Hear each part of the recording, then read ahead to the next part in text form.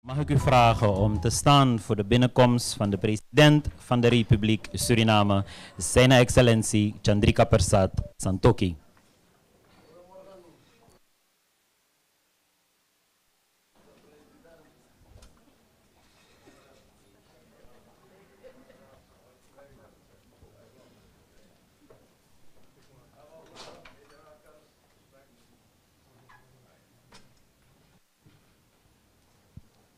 Please be seated.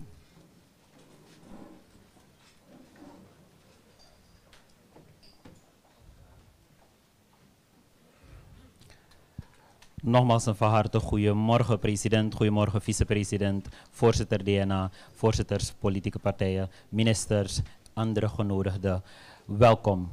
25 mei 2020 resulteerde in de samenstelling van uh, dit bestuur van het land. Het is dus na twee jaar gepast om weer bij u te komen en als regering aan u te presenteren wat de verrichtingen zijn. Ik wil met u doornemen hoe de structuur van de uh, persconferentie zal zijn. We zullen starten met de symbolische overhandiging van het eerste exemplaar van het boekwerk aan de president van de Republiek Suriname. Ik heb de eer om dat eerste exemplaar zelf aan de president te overhandigen. De president zal daarna de volgende exemplaren overhandigen aan de vicepresident, de voorzitter van DNA en de twee andere politieke partners die er aan de tafel zitten. Als pers mag u erop rekenen dat u de digitale versie gelijk krijgt, maar u krijgt ook een analoge versie van ons meteen. U mag daartoe registreren aan de tafel en dan krijgt u een versie van ons mee. De president houdt zijn betoog en aan het eind van zijn betoog doen we de vragenronde. Bij de vragenronde doen we het precies zoals we hadden afgesproken en dat is dat u uw vraag stelt en dat u daarop gelijk antwoord krijgt. Heeft u behoefte aan een aanvullende vraag, dan mag u dat ook gelijk doen, maar we gaan u vragen om daarna de ruimte te geven aan de volgende persoon voor het stellen van een vraag. De microfoons voor de pers bevinden zich aan mijn rechterhand, dat is uw linkerhand daar op tafel. En uh, we gaan dan de orde afwerken. We starten dan meteen. Als ik mij wegmaak naar de president van de Republiek Suriname en aan hem geef het eerste exemplaar van het boekwerk waarbij is aangegeven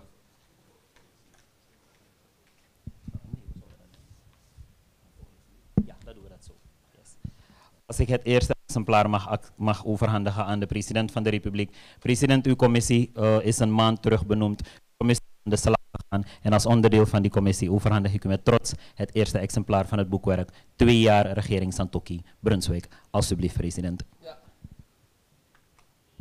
Dank u wel, heer Alvan woordvoerder.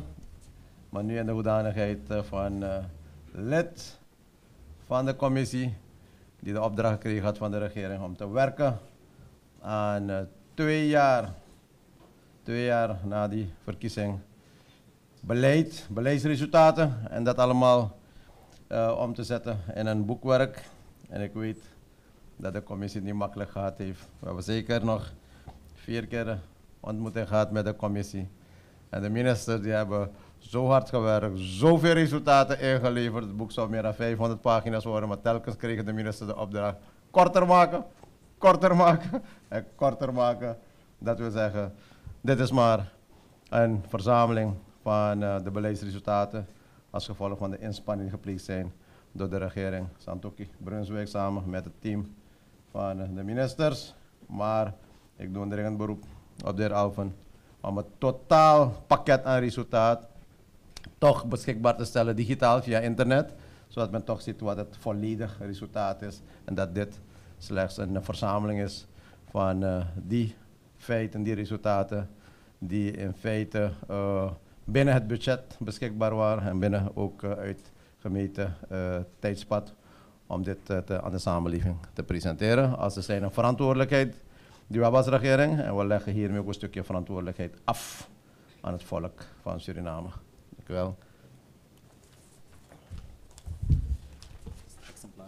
Dan hebben we ook een exemplaar voor de vicepresident.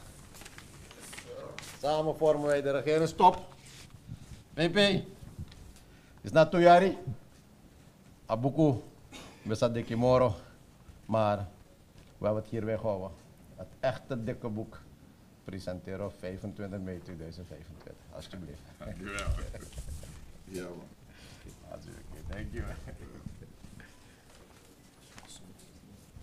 Voorzitter van de NPS, mag ik ook één exemplaar overhandigen, ook voor de bijdrage van u en uw ministersteam. Alsjeblieft.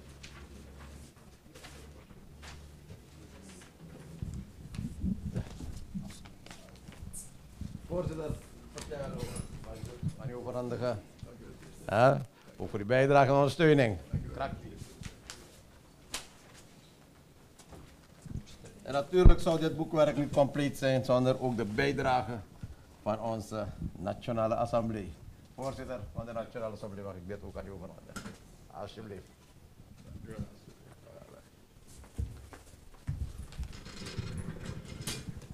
Het boekwerk is overhandigd. De ministers hebben hun exemplaar bij. We gaan er nou toe over de intro van de president te doen, waarbij hij zal aangeven wat nou eigenlijk de hoogtepunten zijn die in dit boek zijn neergepend. President, aan u het woord. Dank u wel. Nogmaals, eh, heer uh, Alven. Uiteraard, de media krijgt ook uh, een exemplaar, de samenleving krijgt ook inzage in. Dus wat ik nu zal doen is slechts de highlights van het boek. Maar natuurlijk is het ook belangrijk om aan te geven waar we gestart zijn uh, twee jaar geleden. Waarbij het uh, volk een uitspraak gedaan heeft middels uh, een verkiezing. En daarbij heeft het volk gekozen voor een andere aanpak. Het volk heeft gekozen voor verandering, verandering van koers, verandering van beleid, betere vooruitzichten, betere leiders en beter perspectief. Met een enorm hoog gespannen verwachting. En uiteraard hadden wij samen gehoopt op een quick fix. Dat wilden we allemaal. Maar ja, als je eenmaal daar zit met die regeerverantwoordelijkheid, dan zie je dat die quick fix uh, in ieder geval mogelijk is, maar niet op het tijdpas zoals wij dat allemaal verwacht hadden. Namelijk binnen enkele dagen, enkele weken of zelfs enkele maanden. Maar de situatie en de omstandigheden waren zodanig dat we meer tijd nodig hadden voor herstel van onze economie. Maar dat hebben we als uitdaging uh, opgepakt en daarmee zijn we aan de uh, slag gegaan door uh, keihard te werken als regering aan beleid, aan ontwikkelen van ons regeerakkoord, ontwikkelen van onze regeringsverklaring, aan ontwikkelen van ons herstelprogramma, het IMF-programma, aan ons MOP. En natuurlijk uh, hebben we dat ook gedaan in goed overleg met zoveel mogelijk sociaal-maatschappelijke organisaties, vakbonden, bedrijfsleven, functionele organisaties. We zijn regelmatig naar het parlement gegaan, hebben verantwoording daar afgelegd in coalitietop en in coalitiestructuren regelmatig ook het beleid uh, besproken. En we zijn vandaag hier twee jaartjes uh, verder. En uh, ik wil gebruik maken van de gelegenheid om alvast aan ieder te bedanken. Het volk te bedanken. We hebben als slogan gehad, Red Suriname. Het volk heeft met haar besluit op 25 mei 2020 de basis gelegd voor redding van Suriname. En daarop bouwen wij verder. Dank aan het volk ook. Maar ik bedank hen ook voor soms hun ongeduld en onbegrip. Soms boosheid, soms irritatie. Maar dat zijn allemaal signalen die we als regering serieus nemen. Dat dingen sneller moeten, dat soms dingen anders moeten. Maar dat we uiteindelijk dat beloofd beleid moeten gaan implementeren. En ik dank het volk ook voor dat vertrouwen. Want dat hebben we wel gezien. Die boosheid soms, onbegrip soms, maar toch dat vertrouwen, het komt wel goed. Met de regering.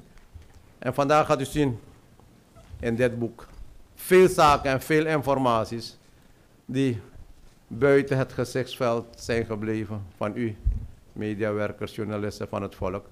Omdat bepaalde zaken ook uh, enorm veel inspanning uh, eisen en vereisen achter de schermen. Als je vertrouwen wilt herstellen in de internationale gemeenschap, dan zijn er tal van maatregelen daar in die internationale gemeenschap uh, moet uh, treffen op het gebied van herstel van vertrouwen. Op het gebied van hoe ga je je schuld weer herschikken. Hoe krijg je al jouw schuldeisers achter jouw beleid? Wat heb je als land om in te zetten? Om toch die schuldeisers zo ver te krijgen van ja, dat ze gaan zeggen we gaan meewerken. En dat zijn zaken die je niet vaak ziet op de voorgrond. Inzet van vertrouwen. Inzet van ook onze commitment dat we op basis van internationale regels en procedures de schulden gaan aflossen. Maar dat we ook nu niet in staat zijn om die uh, schulden af te lossen. Nou, dat zijn allemaal zaken die daarachter uh, de schermen afspelen. Finally, wat je wel ziet, dat het vertrouwen terug is. Dat internationaal ons ondersteunt. Dat er bilaterale samenwerkingsrelaties zijn met verschillende landen in de wereld. En dat we van de internationale financiële instituten nu enorm veel ondersteuning en technische bijstand krijgen. Maar ook financiële injectie krijgen om nu verder te gaan met de ontwikkeling uh, van ons land. En we merken nu ook in de samenleving, uh, de druk wordt minder. En die druk gaan we blijven verminderen door steeds meer, ook als regering, die injectie in die samenleving uh, te geven. In de vorm van koopkrachtversterking, in de vorm van financiële voorziening van kwetsbare groepen.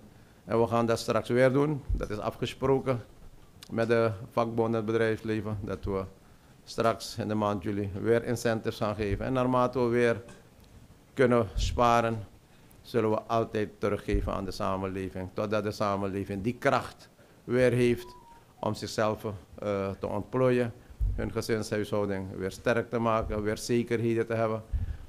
En dat is waar we naartoe gaan. Door enerzijds die urgentiefase, dat was de moeilijkste fase voor ons, af te sluiten en te gaan nu naar de stabilisatiefase en daarna te gaan naar de groeifase.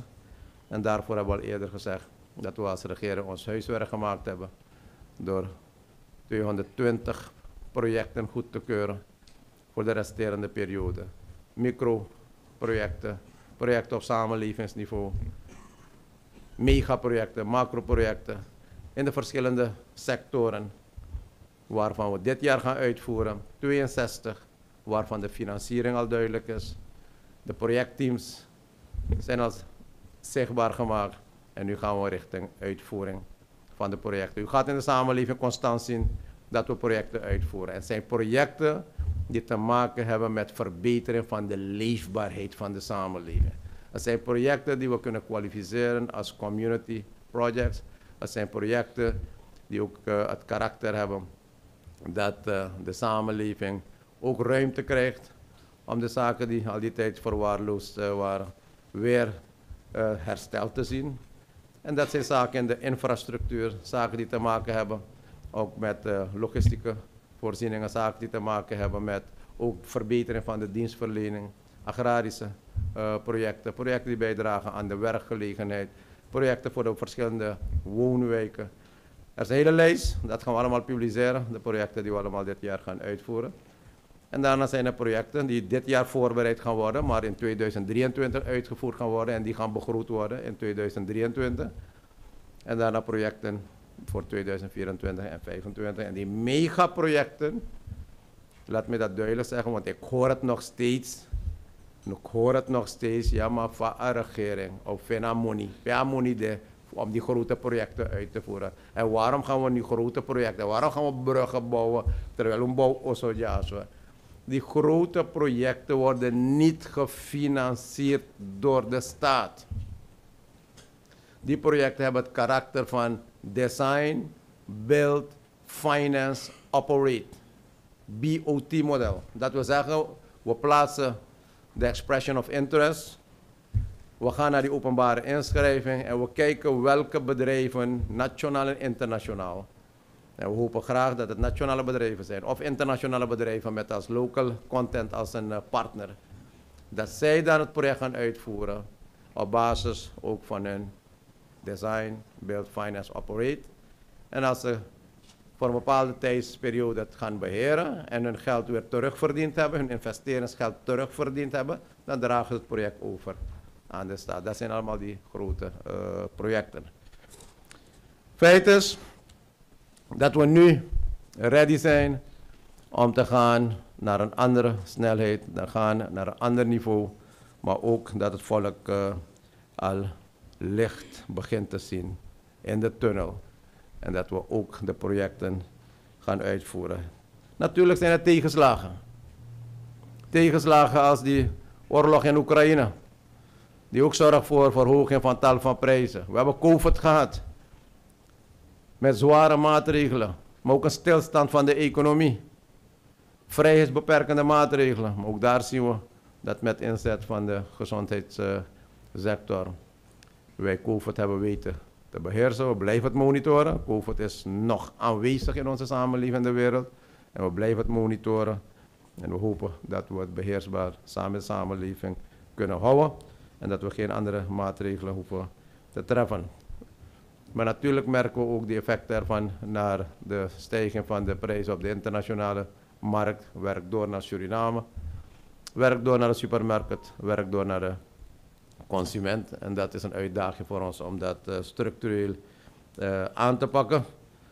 We voeren goed overleg ook met de verschillende sociaal-maatschappelijke organisaties om te zorgen dat we aan de hand van hun inzichten de juiste maatregelen ook uh, treffen.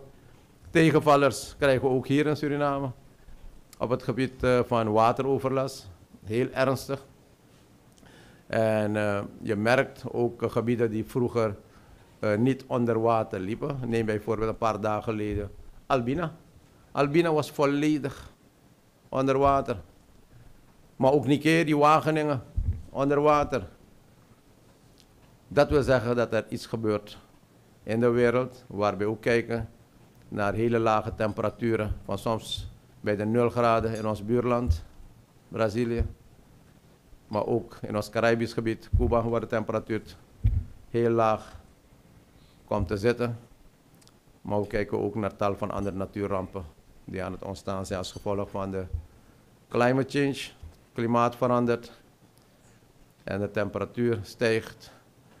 Zeespiegel, waterzeespiegel stijgt. Oceaan stijgt.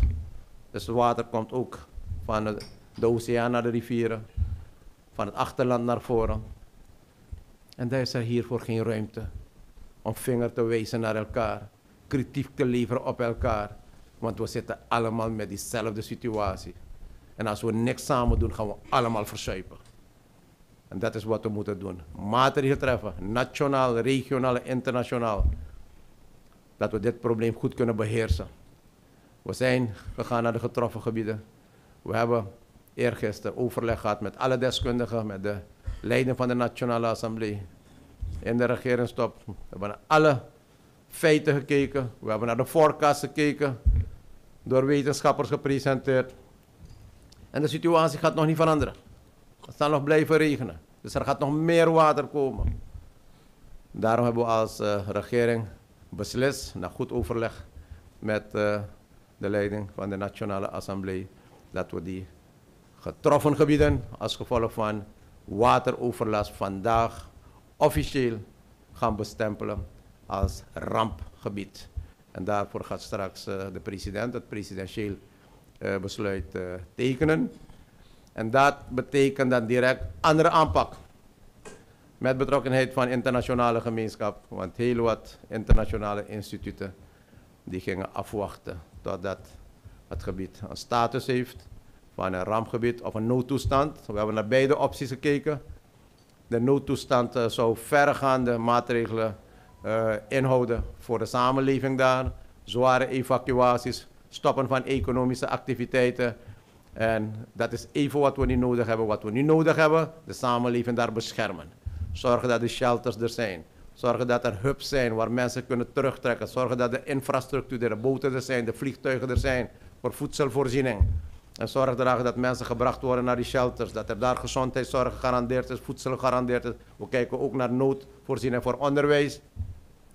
En daarvoor is NCCR versterkt met structuren van de verschillende ministeries. Daarvoor zijn er nieuwe structuren ontwikkeld naar de verschillende ministeries die ook een crisisteam hebben. Elke districtscommissaris moet ook een crisisteam daar hebben. En uiteraard gaan wij nu ook de internationale gemeenschap uh, uitnodigen. De eerste opdrachten zijn al gegeven aan de minister van Buitenlandse Zaken om die verzoeken de bijstand uh, te vragen.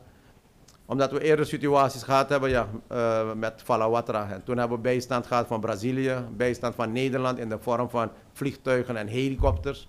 Om die voedselvoorziening allemaal te geven. Dat gaan we weer doen, omdat we beperkte mogelijkheden hier hebben met onze mogelijkheden. Wat we hebben aan capaciteit uh, in de lucht. Maar natuurlijk gaan we alles doen. Dat we onze samenleving gaan beschermen. Het is een nationale aangelegenheid, een Surinaamse aangelegenheid. En we moeten het oplossen als er namang. En dat is wat we geïntensiveerd hebben. Maar nogmaals, die voorlichting moeten we blijven geven. De bewustwording moet komen. Daarvoor zijn er verschillende teams en commissies die moeten zorg dragen dat met die bewustwording wij ook een situatie gaan moeten creëren dat uh, de samenlevingen in het uh, binnenland en die gebieden die getroffen zijn, naar die locaties gaan, die meer bescherming kunnen bieden aan die samenleving. En dat daarbij de regering ook een, een belangrijke rol zal moeten hebben. Mijn mensen, belangrijk is namelijk uh, dat we als regering klaarstaan om ook samen met de particuliere sector verschillende projecten te gaan uitvoeren. In de regeringsraad hebben we goedgekeurd de public-private samenwerkingsmodel. En dat zijn uh, projecten die we gaan uitvoeren in de samenleving bij uh, de woningbouw, maar ook uh, megaprojecten en projecten die te maken hebben met die oil en gas.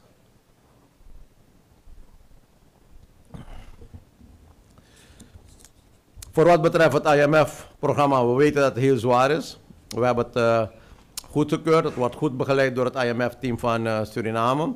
De missies van IMF komen regelmatig om te kijken of we inderdaad de maatregelen op uh, de juiste wijze toetreffen. Men kijkt ook naar de gevolgen, men kijkt ook naar de impact. En ik weet dat het traject heel zwaar is.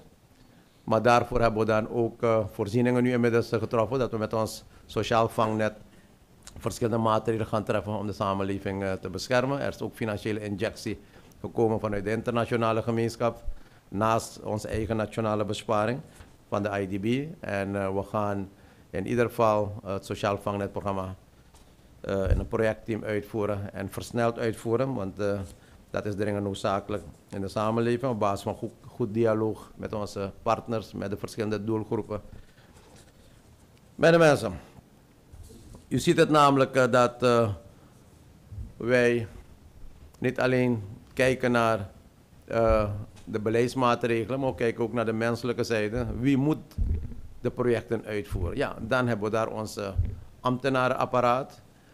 Daarvoor hebben we onze Surinamers. En dat is namelijk wat we nu aan het doen zijn door enerzijds het ambtenarenapparaat zodanig te transformeren met een public sector reform. Dat het apparaat uh, rationeler wordt, moderner wordt, professioneler wordt met trainingen. Maar dat we dat uh, gaan doen op basis van een goed strategisch plan. En dat plan is al gepresenteerd geworden aan de regering, welke wij goedgekeurd hebben. Het is een actieplan om ons uh, reform, public sector reform, uh, uit te voeren. We hebben ook namelijk gekeken naar de capaciteit van de uitvoering van de projecten. We hebben oproep gedaan en we zien dat heel wat personen zich aanmelden. Die gaan allemaal geselecteerd worden, getraind worden en ingezet worden om de verschillende projecten uit te voeren met extra in incentives en extra vergoeding. Mijn mensen, het boek bevat heel wat uh, uh, feiten, heel wat uh, concrete feiten. Het is geen verhaal van wat we gaan doen en allerlei intenties. Nee, het zijn die concrete resultaten van de afgelopen twee jaren, 22 maanden regeerbeleid van regering Santoki Brunswijk.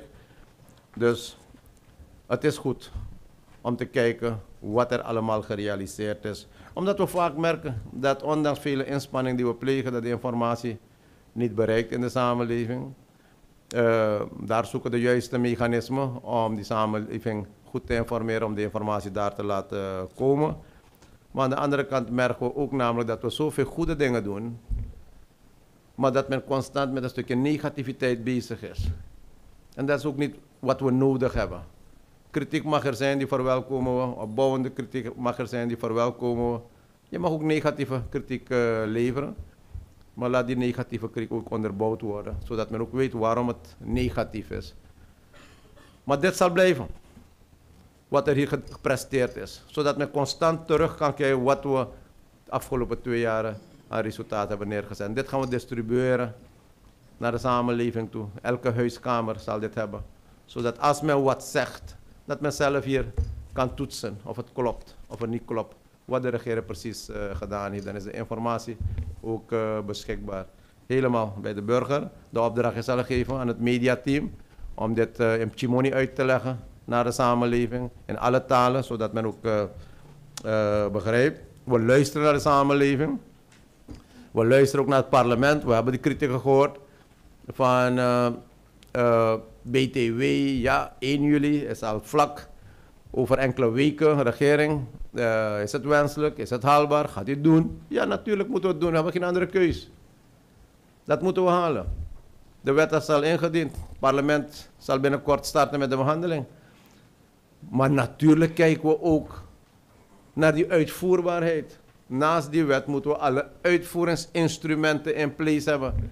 Dus er wordt simultaan gewerkt aan ook de uitvoering van de wet. Dus je moet niet kijken alleen naar die wet en dat die wet goedgekeurd is en die wet automatisch begint te, te, werken. Nee, alle mechanismen moeten in place zijn, alle procedures moeten in place zijn, alle digitale communicatiesystemen en programmatuur moeten allemaal in place zijn. Dat we inderdaad die gelden gaan innen. En niet dat we een wet hebben en we die gelden niet eens kunnen innen. Daar hebben we voor niemand al een wet goedgekeurd. Dus nogmaals, we luisteren. En uh, we hebben een deadline van IMF van 1 juli, maar dat wil ook zeggen dat ook de uitvoeringsinstrumentarium allemaal in place moeten zijn. En daaraan zullen we ook gestaag aan uh, werken. We luisteren ook naar die kritieken voor wat betreft de uh, energietarieven, omdat inderdaad ook in het IMF-programma opgenomen was dat we gefaseerd de subsidie aan EBS uh, zouden afbouwen. En als je subsidies afbouwt, dan zou je ook dat moeten compenseren. Enerzijds met reorganisatie van het bedrijf. En het rapport uh, van de accountants is al binnen. En aan de hand van de aanbevelingen van de accountants zullen wij die reorganisatie van EBS ter hand nemen. Zodat alle inefficiencies weggemaakt worden. Dat de organisatie weer een moderne organisatie wordt, een transparante organisatie wordt. En tegelijkertijd kijken we ook naar de gefaseerde ook aanpassing van de energietarieven. Op basis ook van het draagvermogen van de samenleving, het draagvermogen van de verschillende groepen. Al deze zaken uh, die staan op agenda aanstaande vrijdag op uh, de regeringsraad. Uh, zowel het accountantsverslag als de verschillende opties voor de gefaseerde uitvoering van ons energietarieven traject. Meneer u merkt ook namelijk voor wat betreft die kleine projecten dat we de laatste tijd uh, veel projecten uitvoeren, met name via het ministerie van uh, Onderwijs, op het gebied van beroepsgericht technisch onderwijs. En dat gaat geïntensiveerd worden. Ik heb een lijst van de minister uh, gehad voor de komende periode. Zeker nog vijf, zes scholen en dat gaan we het hele jaar door. Dat is die transformatie die we plegen naast ons regulier onderwijs. Dat gemoderniseerd wordt, dat aangepast wordt, dat geherstructureerd wordt. Maar ook namelijk onze toekomst meer te richten naar de technische richting. Onze jongeren de gelegenheid te geven om te gaan naar de technische beroepen. Omdat daar die toekomst van ons ligt met betrekking tot die oil en gas. En als we weten dat die oil en gas over drie jaar al operationeel zal zijn, dan moet je, in feite zijn we al laat. In feite zijn we als laat om ons eigen kader te gaan trainen, zodat ons eigen kader die oil en gas zelfstandig kan uh, beheren. Maar uh, we spelen in op uh, de markt en, en we zien namelijk dat er ook enorm veel belangstelling is vanuit de samenleving voor deze beroepen. Voor wat betreft onze schuldpositie. U weet namelijk uh, dat de norm is uh, dat jouw schuldpositie uh, niet hoger mag zijn dan 60% van je BBP. En we hadden een schuldpositie in 2020 uh, van 148% van onze BBP. Dus onze schuldpositie was 148% van onze BBP. En thans is het nu 131%. U ziet hier ook.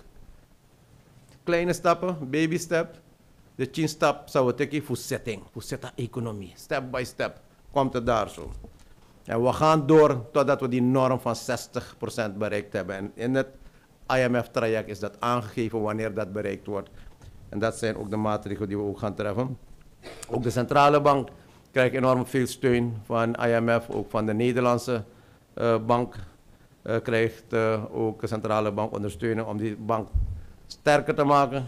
Ook te werken naar meer verzelfstandiging van de centrale bank. De bankwet wordt binnenkort behandeld door het parlement. Ik denk dat komende week al op de agenda staat. En dat willen we allemaal om de economie verder te stabiliseren, om die koers ook verder te stabiliseren. Het is uiteindelijk de markt die de koers bepaalt, maar de centrale bank moet wel het instrumentarium hebben en voldoende middelen hebben om daar binnen te kunnen interveneren. We hebben gezien namelijk dat de centrale bank, en dat was onderhevig aan tal van vragen, opmerkingen, soms kritiek over de openmarktoperaties, meer bekend als OMO, die men uitgevoerd had om zoveel mogelijk liquide middelen weg te halen, SRD's weg te halen, op basis van een soort uh, uh, veiling, waarvan de rente in het begin 90% was. En nu blijkt dat de rente gezakt is naar 10%. Hier zie je namelijk de markt ook bepaalt waar die economie in evenwicht is en zich zal uh, stabiliseren. We zien bij de centrale bank de monetaire reserve weer na jaren groeien. En dat is een goed teken. En we merken ook namelijk eh, dat uh, ook in onze begroting die hersteloperatie is uitgevoerd. Waar we een begrotingstekort hadden van 18,1% in 2020. Dat we nu dat teruggebracht hebben onder de norm van 1, namelijk 0,8%. En dat is binnen de norm van 3% wat internationaal vereist is. Ja, natuurlijk zijn er nog uh, problemen die moeten oplossen. En uh, daarvoor zijn er alle maatregelen al uitgewerkt om uh, de begrotingstekort verder terug te brengen. Maar om een indicatie te geven, en de ministers zijn hier, en vandaag zijn ze lief, maar in de regeringsraad is het niet makkelijk. Want de ministers klagen dat ze onvoldoende geld hebben om beleid te gaan uitvoeren. Om indicatie te geven, 35% van die budgetten van de ministers, de meeste ministeries, maar ik heb het over gemiddelde, 35% van je begroting is bestemd voor aflossing van schuld en rente alleen. Daar gaat jouw geld. Dit is wat we voor die campagne al die tijd gezegd hadden, namelijk die schuld die men opvoert door middel van leningen en leningen en leningen. Dat zal uiteindelijk door het volk afgelost moeten worden. En hier blijkt het. Maar omdat je zoveel geld moet reserveren om je schuld af te lossen, je rente af te lossen, houden de ministers minder geld om projecten voor de samenleving uit te voeren. Dus de samenleving wordt weer het, het, slachtoffer hiervan. Dus dit maar een indicatie. Maar nogmaals, we hebben al binnen de regering afgesproken, laten we deze begroting zo snel mogelijk aanwenden om ontwikkeling te brengen, welzijn te brengen. Uh, en direct, als het kan, VP, minister, voorzitter DNA, laten we ons begroting voor einde van dit jaar, december, goedkeuren zodat we januari kunnen starten met begroting 2023. Dan hebben we een betere begroting om beter beleid te kunnen uitvoeren. Dat is ons streven. Laten we dat ook uh, dan gaan uh, realiseren. Ook voor wat betreft ons luchtverkeer zien we dat er heel wat verandering komt. Het luchtverkeer gaat open voor luchtvaart. Onze minister van TCT die tekent veel overeenkomsten. We zien ook SLM uh, herstructureren, reorganiseren. We hadden afspraak met het parlement om binnen een maand uh, ook naar de samenleving te gaan om meer informatie te geven middels een persconferentie, maar ook de Nationale Assemblée te informeren waar we staan nu. Met alle maatregelen van SLM. En dan hoop ik dat u dan uiteindelijk uh, de juiste informatie gaat geven. Wat er precies aan reorganisatie, kan u vandaag wel zeggen, drastische reorganisatie plaatsvindt binnen de SLM en de SLM-organisatie. Beste mensen, ook voor wat betreft de offshore en de shorebase, daar kan ik informeren dat we flink aan het investeren zijn. De expression of interest is uitgegaan. eh, voor het eh, opzetten van Shorebase. Daar hebben ruim 12 bed- bedrijven eh, zich aangemeld. Er is een screening geweest. We hebben staatsolie gevraagd met eh, een team van deskundigen om voor ons de screening en voorbereiding en de beoordeling te doen. En eh, zes bedrijven die zijn er doorheen, waarvan vier in feite direct. Het, het bericht gaat om direct te kunnen beginnen met een investeren op het gebied van Shorebase. En van één bedrijf, een buitenlands bedrijf dat als local partner een Surinaams bedrijf heeft, die gaat komende maand al starten met eh, de eerste handelingen om eh, hun eh Shorebase in Suriname op te zetten. Twee moeten nog een stukje land aantonen, die zijn bestemd voor Nikeri. En we kijken uit dat ze hun land presenteren, zodat ook die twee kunnen worden meegenomen als ze zijn twee bedrijven. Die ook alle bedrijven hebben local content, heel geweldig. Alle internationale bedrijven hebben een local, een lokaal bedrijf als partner om samen te werken. Dat al deze bedrijven kunnen uitnodigen om te gaan starten. Allemaal op basis van private-private samenwerking. Dus private samenwerking met hun eigen kapitaal, hun eigen terrein, hun eigen voorzieningen. De staat is faciliterend, de staat is ondersteunend. En één bedrijf die gevraagd heeft, dat het gevraagd heeft, namelijk public-private. En dat is een bedrijf voor Shorebase, eh, dat samen met eh, eh, havenbeheer wil samenwerken. We hebben de conferentie gehad met betrekking tot de local content. Dus we gaan door om onze bedrijven, onze Surinamers te motiveren, te mobiliseren. Niet te wachten om direct eh, mee te doen met die oil en gas. Staatsolie organiseert eind eh, juni een grote eh, conferentie Suriname op het gebied van oil en gas, waarbij de hele wereld hier aanwezig zal zijn. Om ook te praten over de toekomst van oil en gas, maar met name over die oil en gas in Suriname. De mogelijkheden, de potenties. Natuurlijk wachten we ook eh, op eh, het besluit van de internationale oliemaatschappijen. wanneer ze hun ehm, eh, besluit gaan nemen, de Final Investment Decision. En de laatste informatie dat is opgeschoven is naar het derde kwartaal van dit jaar. Maar als dat komt, dan weten we uiteindelijk als land wat we daar hebben. Aan volume, aan kwaliteit, aan termijn, hoe lang we het kunnen exploiteren, gasvoorraden.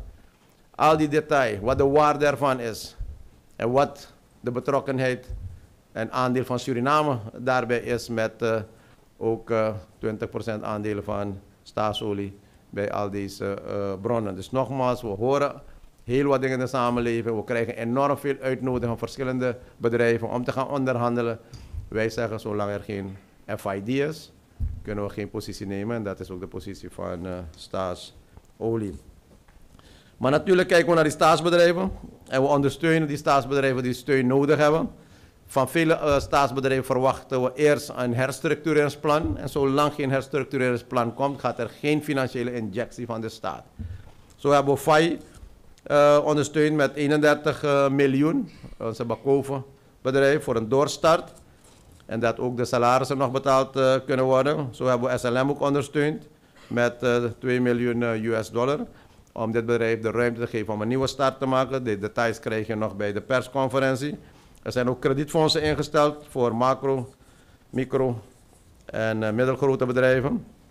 We hebben voorbereidingsfondsen eh, om ook eh, bedrijven te ondersteunen voor wat betreft eh, eh, studies te verrichten, eh, technische bijstand te geven. Dat is technische bijstand particuliere sector. Eh, daarvoor hebben we voldoende financiële middelen ook gezegd. We hebben ook de Basic Needs Trust Fonds en fonds voor gemeenschapsprojecten voor eh, micro-ondernemers. Dus ook hier kunnen kleine bedrijven hun aanvragen doen.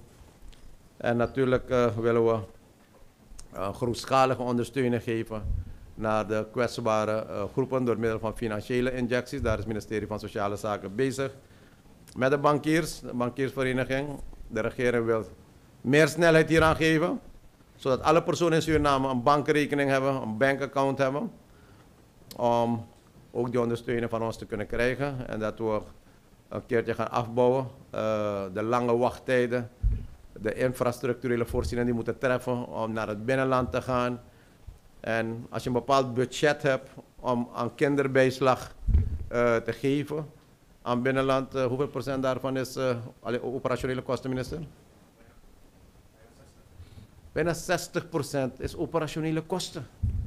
Dus om x bedrag te brengen is 60 procent alleen maar kosten om te brengen daar zo. Dus daarom willen we zo snel mogelijk die accounts hebben. En tweede optie die bekeken wordt is namelijk, aangezien dat aspect van het krijgen van bankaccounts heel langzaam uh, bureaucratisch verloopt. We hebben binnenkort een, als regering bespreken met de bankiersvereniging. Uh, zijn we als regering bezig om een ander systeem uh, te introduceren. Is een kaartsysteem, een soort opwaarderingskaartsysteem, zodat je kaart regelmatig opgewaardeerd kan worden, zodat je met die kaart ook betalingen kan plegen. En dan heb je geen uh, bankaccount nodig. En dat is het systeem wat nu uitgewerkt wordt om toch nog de samenleving te kunnen helpen. En uiteraard kijken we naar de oproep die we gedaan hebben ook aan het parlement. Laat een initiatiefwet komen in het parlement. Namelijk uh, een initiatiefwet, basisaccount uh, voor elke burger. En daarvoor moet er een wet komen zodat de banken ook beschermd worden tegen allerlei dreigingen die zij zeggen dat ze krijgen van een corresponding bank als onvoldoende due diligence is, als er onvoldoende compliance geregeld is. Nou, dan maken we een wet. En die wet gaat precies regelen, namelijk tot welk bedrag die account gebruikt uh, kan worden. Zodat voldaan wordt aan de due diligence en compliance vereisten die ook de internationale gemeenschap eist, ook van onze uh, banken. Sociaal-maatschappelijke samenwerking. We hebben onze SER weer operationeel gemaakt. We hebben ook uh, onze arbeidsadviescollege. We hebben ons tripartite overleg. We hebben ons tripartite akkoord, een historisch akkoord bereikt met de vakbonden en bedrijfsleven. We hebben ook ons NOB, wat weer werkt. We hebben onze business forum, wat weer geactiveerd is. Public-private partnership wordt ge, geïntensiveerd. En uiteraard uh, werken we aan versterking ook van onze democratie en uh, bestuur. Door middel, ook, door middel ook van goed overleg met de sociaal-maatschappelijke organisaties. Maar ook de versterking van de verschillende instituten. U merkt wat we gedaan hebben de veiligheidsinstituten, daar gaat de reorganisatie door, de vervanging van de leden. We willen integere instituten hebben, we willen versterkte instituten hebben. We willen ook namelijk dat die instituten weer dienstbaar worden aan de samenleving, weer voldoende vertrouwen hebben om nationaal en internationaal te kunnen uh, functioneren. Dus, mijn mensen, enorm veel. Gezondheidssector is een uitdaging. Daar hebben we als uh, regering maatregelen al getroffen, namelijk dat binnen de gezondheidssector ook een programmaorganisatie komt om de verschillende projecten uit te voeren. Er is crisis binnen de gezondheidssector als we kijken naar de schuldpositie, als we kijken naar de beschikbaarheid van voldoende middelen, als we kijken ook naar ook de human resource kant, uh, waar de rechtspositie van vele gezondheidswerkers nog niet uh, voldoende geregeld is. Dat wordt aangepakt. Gisteren hebben we goedgekeurd een crisisteam voor MMC Nikeri, zodat een crisisteam nu met crisismaatregelen de problemen in het district Nikeri uh, gaat aanpakken. Natuurlijk heeft COVID-19 gezorgd dat de hele reguliere gezondheidszorg een beetje ja, gesloten was. Alles was COVID-zorg. Alle instituten zijn gebruikt geworden om de COVID-zorg te gaan bieden aan de samenleving, om die samenleving te beschermen.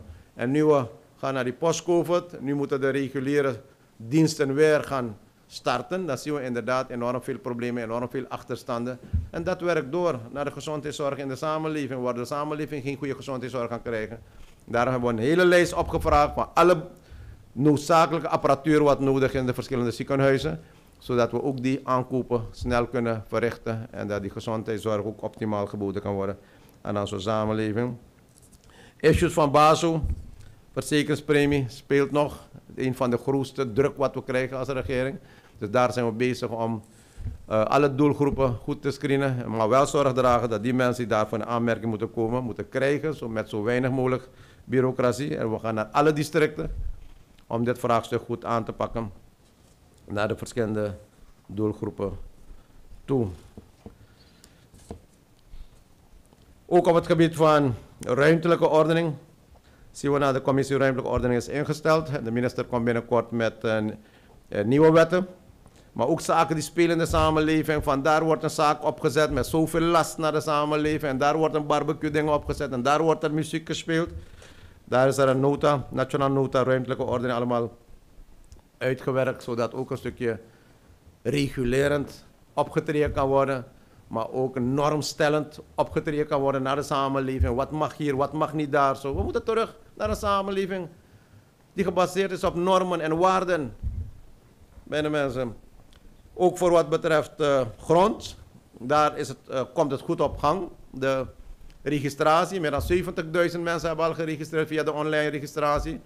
We hebben al de presentatie gehad vanuit GBB over alle beschikbare gronden, domeingronden. En de minister heeft al opdracht gehad om al deze gronden te gaan indelen in bouwkavels van 500 vierkante meter in alle districten. En al deze mensen gaan nog dit jaar hun, hun grondtitel krijgen. Daarna gaan we naar de fase van het bouwen. En daar heeft de minister al overzicht gepresenteerd wie wel kan bouwen. Daarvoor moet een goedkoop kapitaal reserveren. En zij die niet kunnen bouwen, daar gaan we op basis van public-private samenwerking uh, de woningen dan uh, bouwen. Dat is het plaatje wat allemaal al voorbereid is. En we zijn al begonnen met uh, de uitvoering.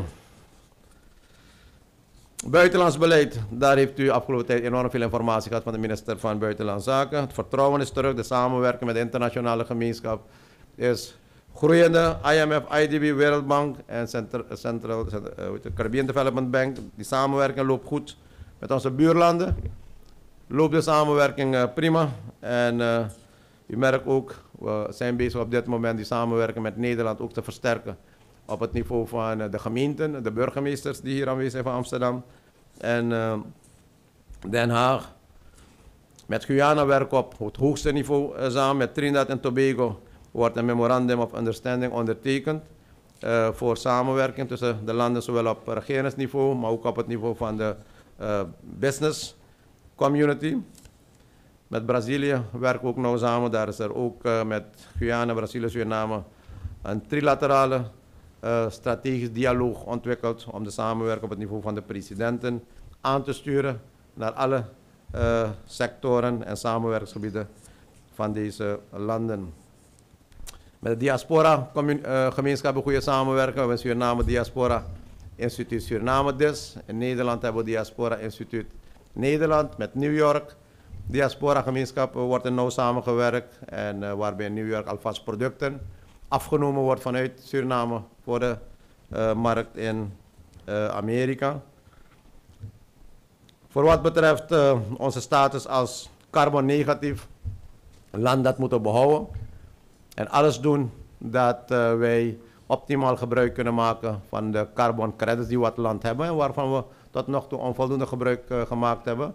Vanuit ROM zijn er initiatieven ontplooid. We hebben een overeenkomst met Total Energies om de studie te verrichten voor carbon credit. En we gaan de komende week nog een nationaal commissie installeren dat de regering zal begeleiden, adviseren hoe we een carbon credit strategie voor het land op korte termijn kunnen gaan ontwikkelen. Omdat we carbon negatief zijn, hebben we carbon credits. En deze carbon credits, met goed beleid en goede bijstand, kunnen we omzetten, kunnen kapitaliseren. En daarmee geld genereren voor de ontwikkeling van het land, voor duurzaam bosbeleid en bosbeheer. Maar ook om te zorgen Namelijk uh, dat we onze economie ook uh, kunnen herstellen. En dit wordt tot nog toe onvoldoende gebruikt door uh, Suriname. We hebben ook onze National Risk Assessment. De eerste tussentijdse rapportage is al uit. En het staat op agenda van de regering. Afgelopen week hebben we naar alle aanbevelingen gekeken uh, van Suriname. En er zijn issues die we binnen enkele weken, maanden moeten aanpakken. En daarvoor hebben we uh, ook de ministeries gevraagd om de werkgroepen daar te gaan versterken. En over drie weken zitten we weer binnen de regering en dan gaan we kijken wat de stand van zaken is en wat de ministers en hun ministeries gedaan hebben met die aanbevelingen. Zodat we vanuit de regering een strakke aansturing kunnen hebben. Want we willen uiteindelijk een goede beoordeling hebben als land met betrekking tot onze evaluatie. Als het gaat om ons anti-money en ook financiering van terrorisme. We hebben onze hoog uh, niveau High Level Security Conference gehad. Waar we verregaande internationale samenwerking hebben afgesproken om de grensoverschrijdende transnationale criminaliteit gezamenlijk te gaan aanpakken. De rechterlijke macht hebben we versterkt. President van het Hof is er. Aantal rechters is verruimd. Aantal officieren bij de staande magistratuur is ook uh, verruimd. We hebben verschillende uh, trainingen geïnitieerd. En we hebben het he de hele rechterlijke macht nu verzelfstandig, ook in financieel opzicht, ook in begrotingstechnisch opzicht, zodat dat apparaat over haar eigen financieel beleid uh, kan beschikken en uitvoeren.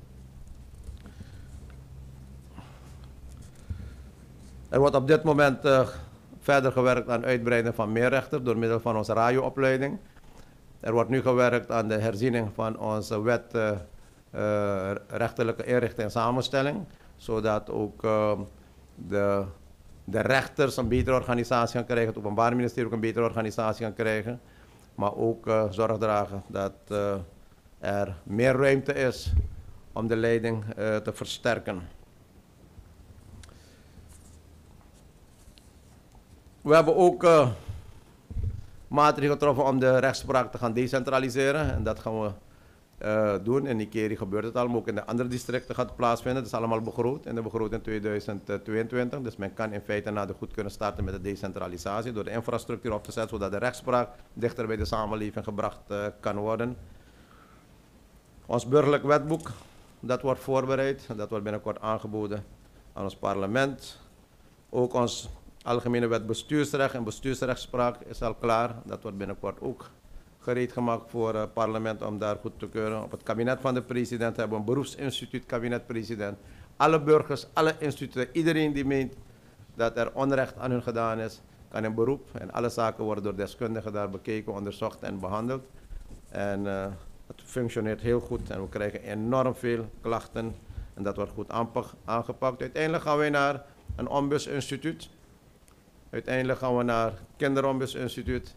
En uiteindelijk gaan we ook uh, naar een rechtspraak, een administratieve rechtspraak, waarbij burgers hun recht uh, beter uh, behandeld kunnen krijgen. Mijn mensen, zo kunnen we een heleboel zaken nog noemen. Anticorruptiecommissie. Die heeft haar verslag gepresenteerd met heel wat wetten. Het staat op agenda van de regeringsraad. En het, is, het wordt behandeld. En binnenkort zijn we in overleg met de Nationale Assemblée om dit allemaal goed te bespreken en aan te pakken. We hebben onze wet openbaarheid bestuur al goedgekeurd gestuurd naar de Nationale Assemblée. Nogmaals, het is maar een greep uit zoveel andere maatregelen en resultaten wat we in ons boek hebben uitgewerkt. En u ziet het, step by step voeren we alles uit. En zo we zitten Godoro. Zo we zitten in Godoro totdat we alles gerealiseerd hebben wat we aan het volk beloofd hebben. En als we iets niet hebben kunnen realiseren, gaan we het ook uitleggen waarom het niet gebeurd is. Door middel van ook een goede toelichting.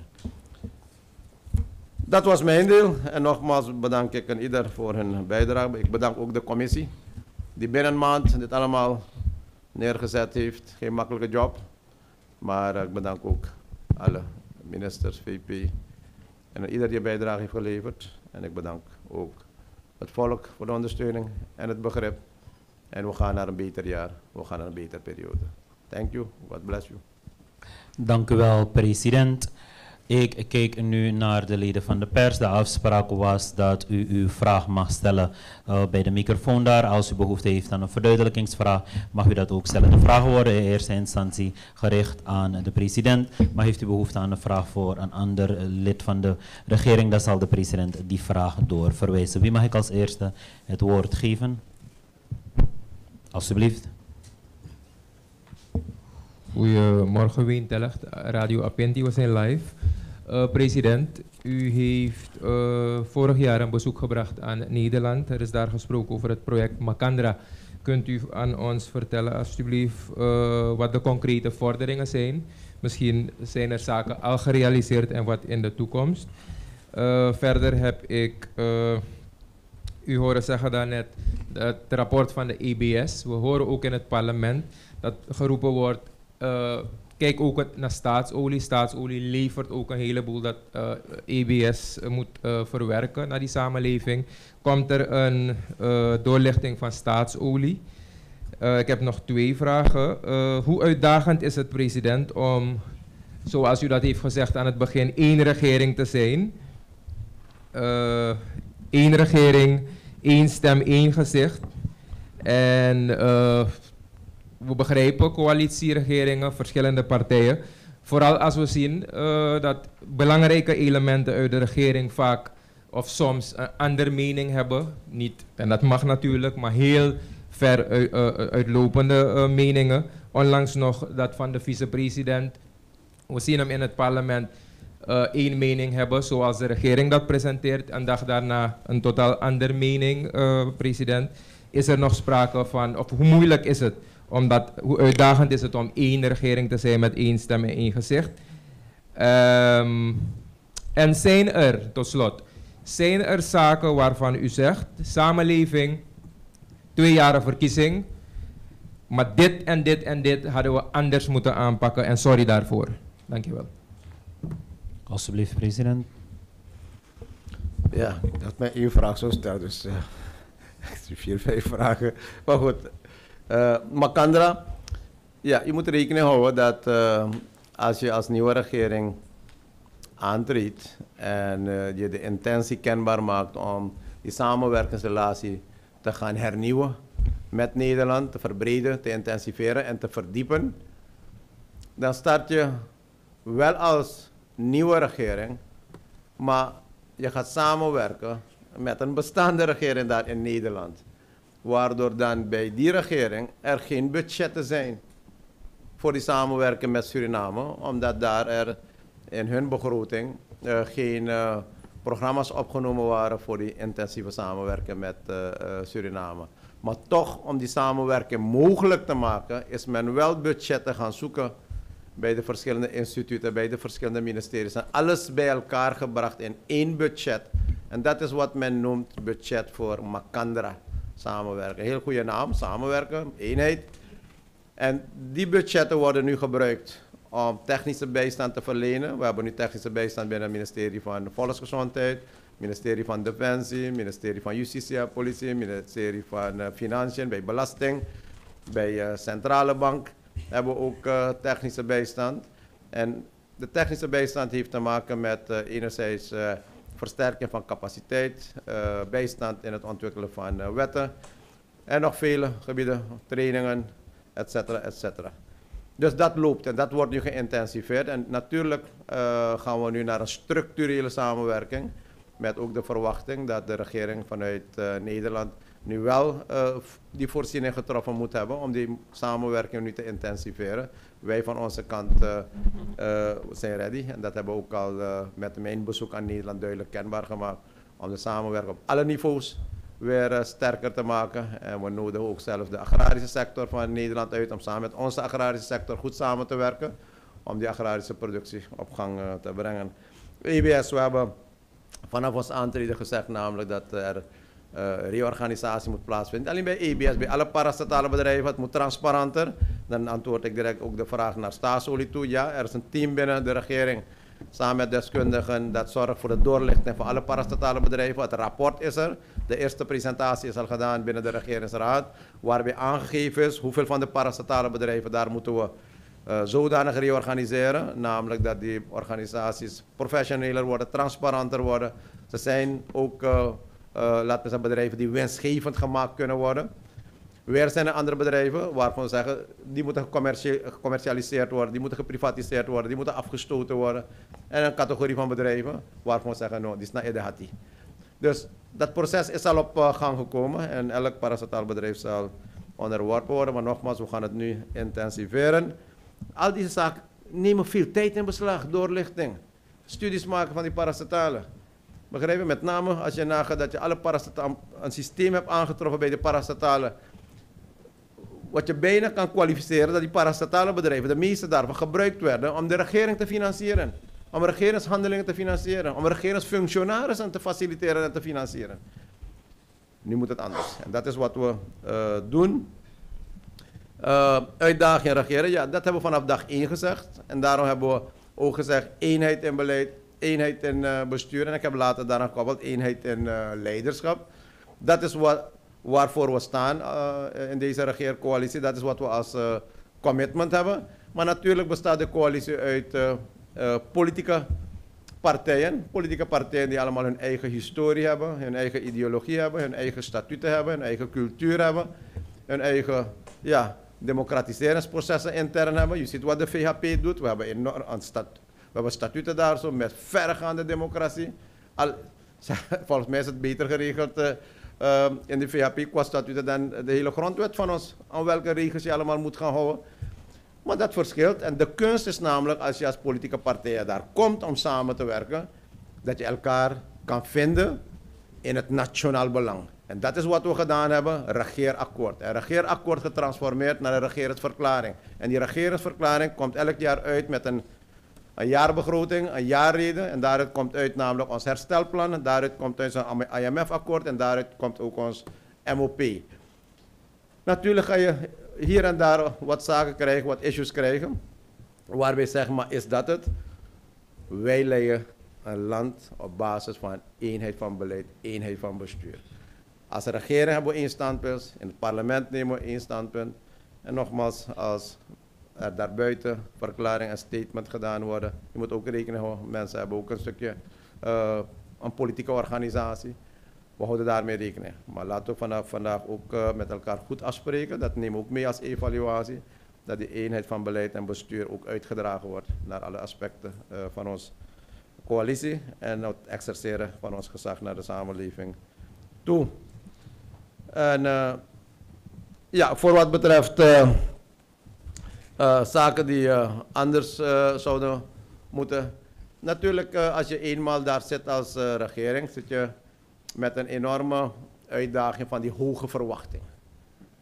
Dus die hoge verwachting was zodanig dat iedereen verwacht had van en ja, binnen een dag, binnen, binnen een maand zal die oplossing komen.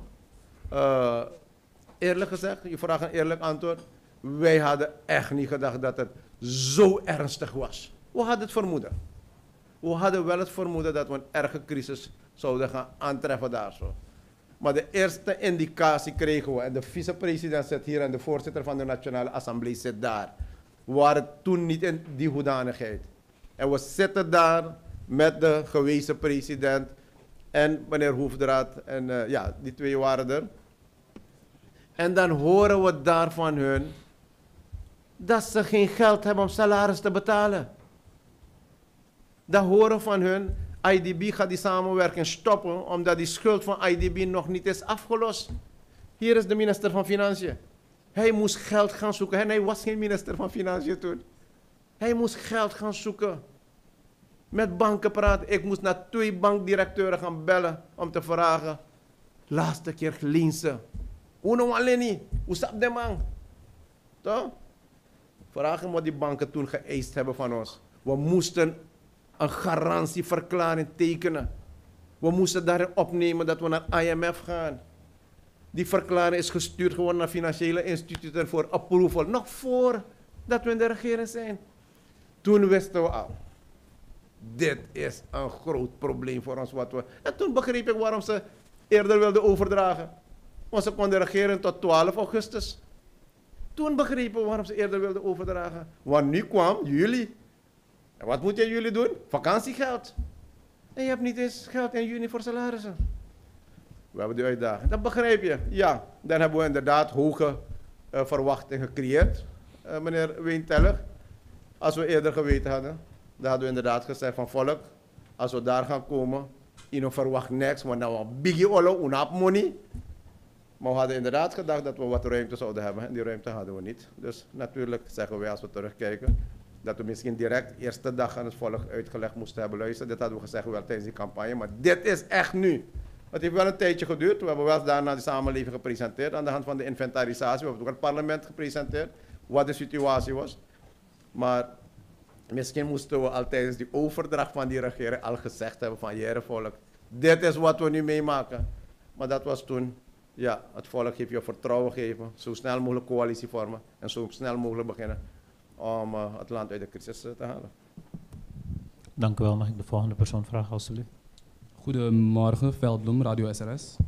Een vraag voor de president. Um, bent u tevreden met de resultaten die in het boek zijn uitgewerkt? Als je kijkt naar waarmee de samenleving te kampen heeft, de benzineprijzen um, en de megaprojecten waarover u het heeft. Wat zijn de voordelen voor de samenleving bij het realiseren van deze projecten? Ja, uh, voor wat betreft zijn we tevreden. We zijn pas tevreden als regering als we op 25 mei 2025 nog een boek, maar wel met volledig resultaat van ons vijf jaar regering kunnen presenteren aan de samenleving. Waarbij we met fact en figures aan de samenleving kunnen zeggen: dit is hier wat we vijf jaar geleden aan u beloofd hebben. Dit is die regeringsverklaring van ons. Dit is ons herstelprogramma. Dit is ons IMF-akkoord. Dit is ons MOP. En dit is wat we gerealiseerd hebben. Natuurlijk, als we 100% gerealiseerd zullen hebben, dan weet u zelf dat we meer dan tevreden zijn als regering. Maar er zijn twee dingen. Zijn twee dingen.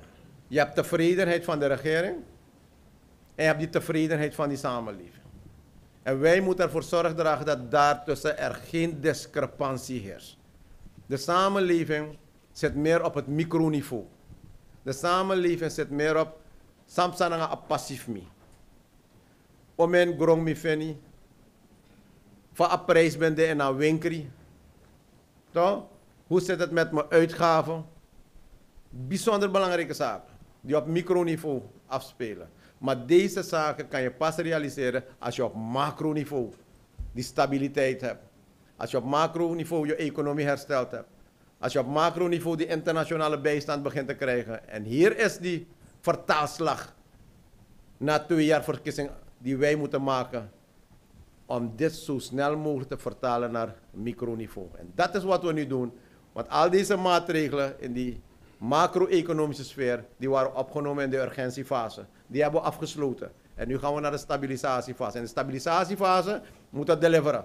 De 62 projecten die we goed, die moeten uitvoeren. En uiteindelijk moeten we gaan naar 25 mei 2025, waarbij we goed moeten nagaan of de samenleving ook allemaal tevreden is. We gaan veel moeten investeren in die prijzen in die winkel.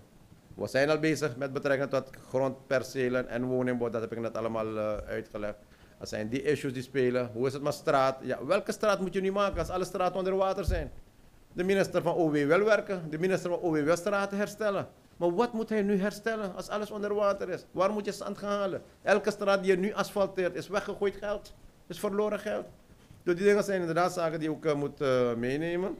Maar die zaken spelen in de samenleving. En ik zeg dat datgene wat we qua beleid moesten doen, na twee jaar verkiezing, dat we in staat zijn geweest om grote, uh, dat wel te realiseren. Maar we horen nog het geluid in de samenleving van die hoge prijzen uh, in die winkels die we ook moeten aanpakken. Benzineprijs. Laten we heel eerlijk zijn, mensen.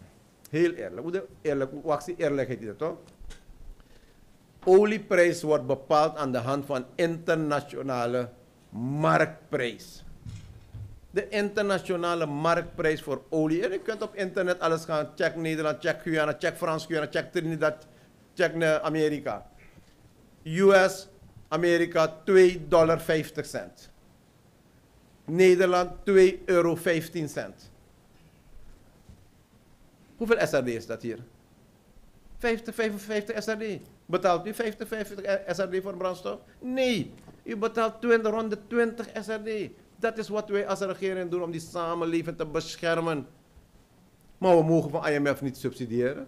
We mogen van IMF niet lenen. We mogen van IMF geen garantie meer geven. Dus je zoekt naar alternatieve methoden pragmatische methode om toch die samenleving te beschermen. En dat doen we naar die elektriciteitstarieven, dat doen we naar die brandstoftarieven, om die samenleving uh, te beschermen. Ja, die megaprojecten, we hebben vaker gezegd, we zijn een regering, maar we kijken naar die toekomst. We hebben ook gezegd, wij zijn geen politieke partij, zeker mijn partij voor die volgende verkiezing. Wij zijn voor die volgende generatie. Dan moet je ook ontwikkeling brengen voor de toekomst. En die strategische projecten. En ik hoop dat we een keertje daarover apart kunnen praten, over die strategische projecten. Omdat ik tot nog toe niet, ik, ik zie dat men het nog niet begrijpt. En ik ga proberen heel kort vandaag uit te leggen. Als je ziet dat in Guyana oil en gas is. En op dit moment wordt alleen maar oil geëxploiteerd in Guyana. Die gas wordt teruggeduwd. Dus er is gas daar. Niet ver van ons westelijk district.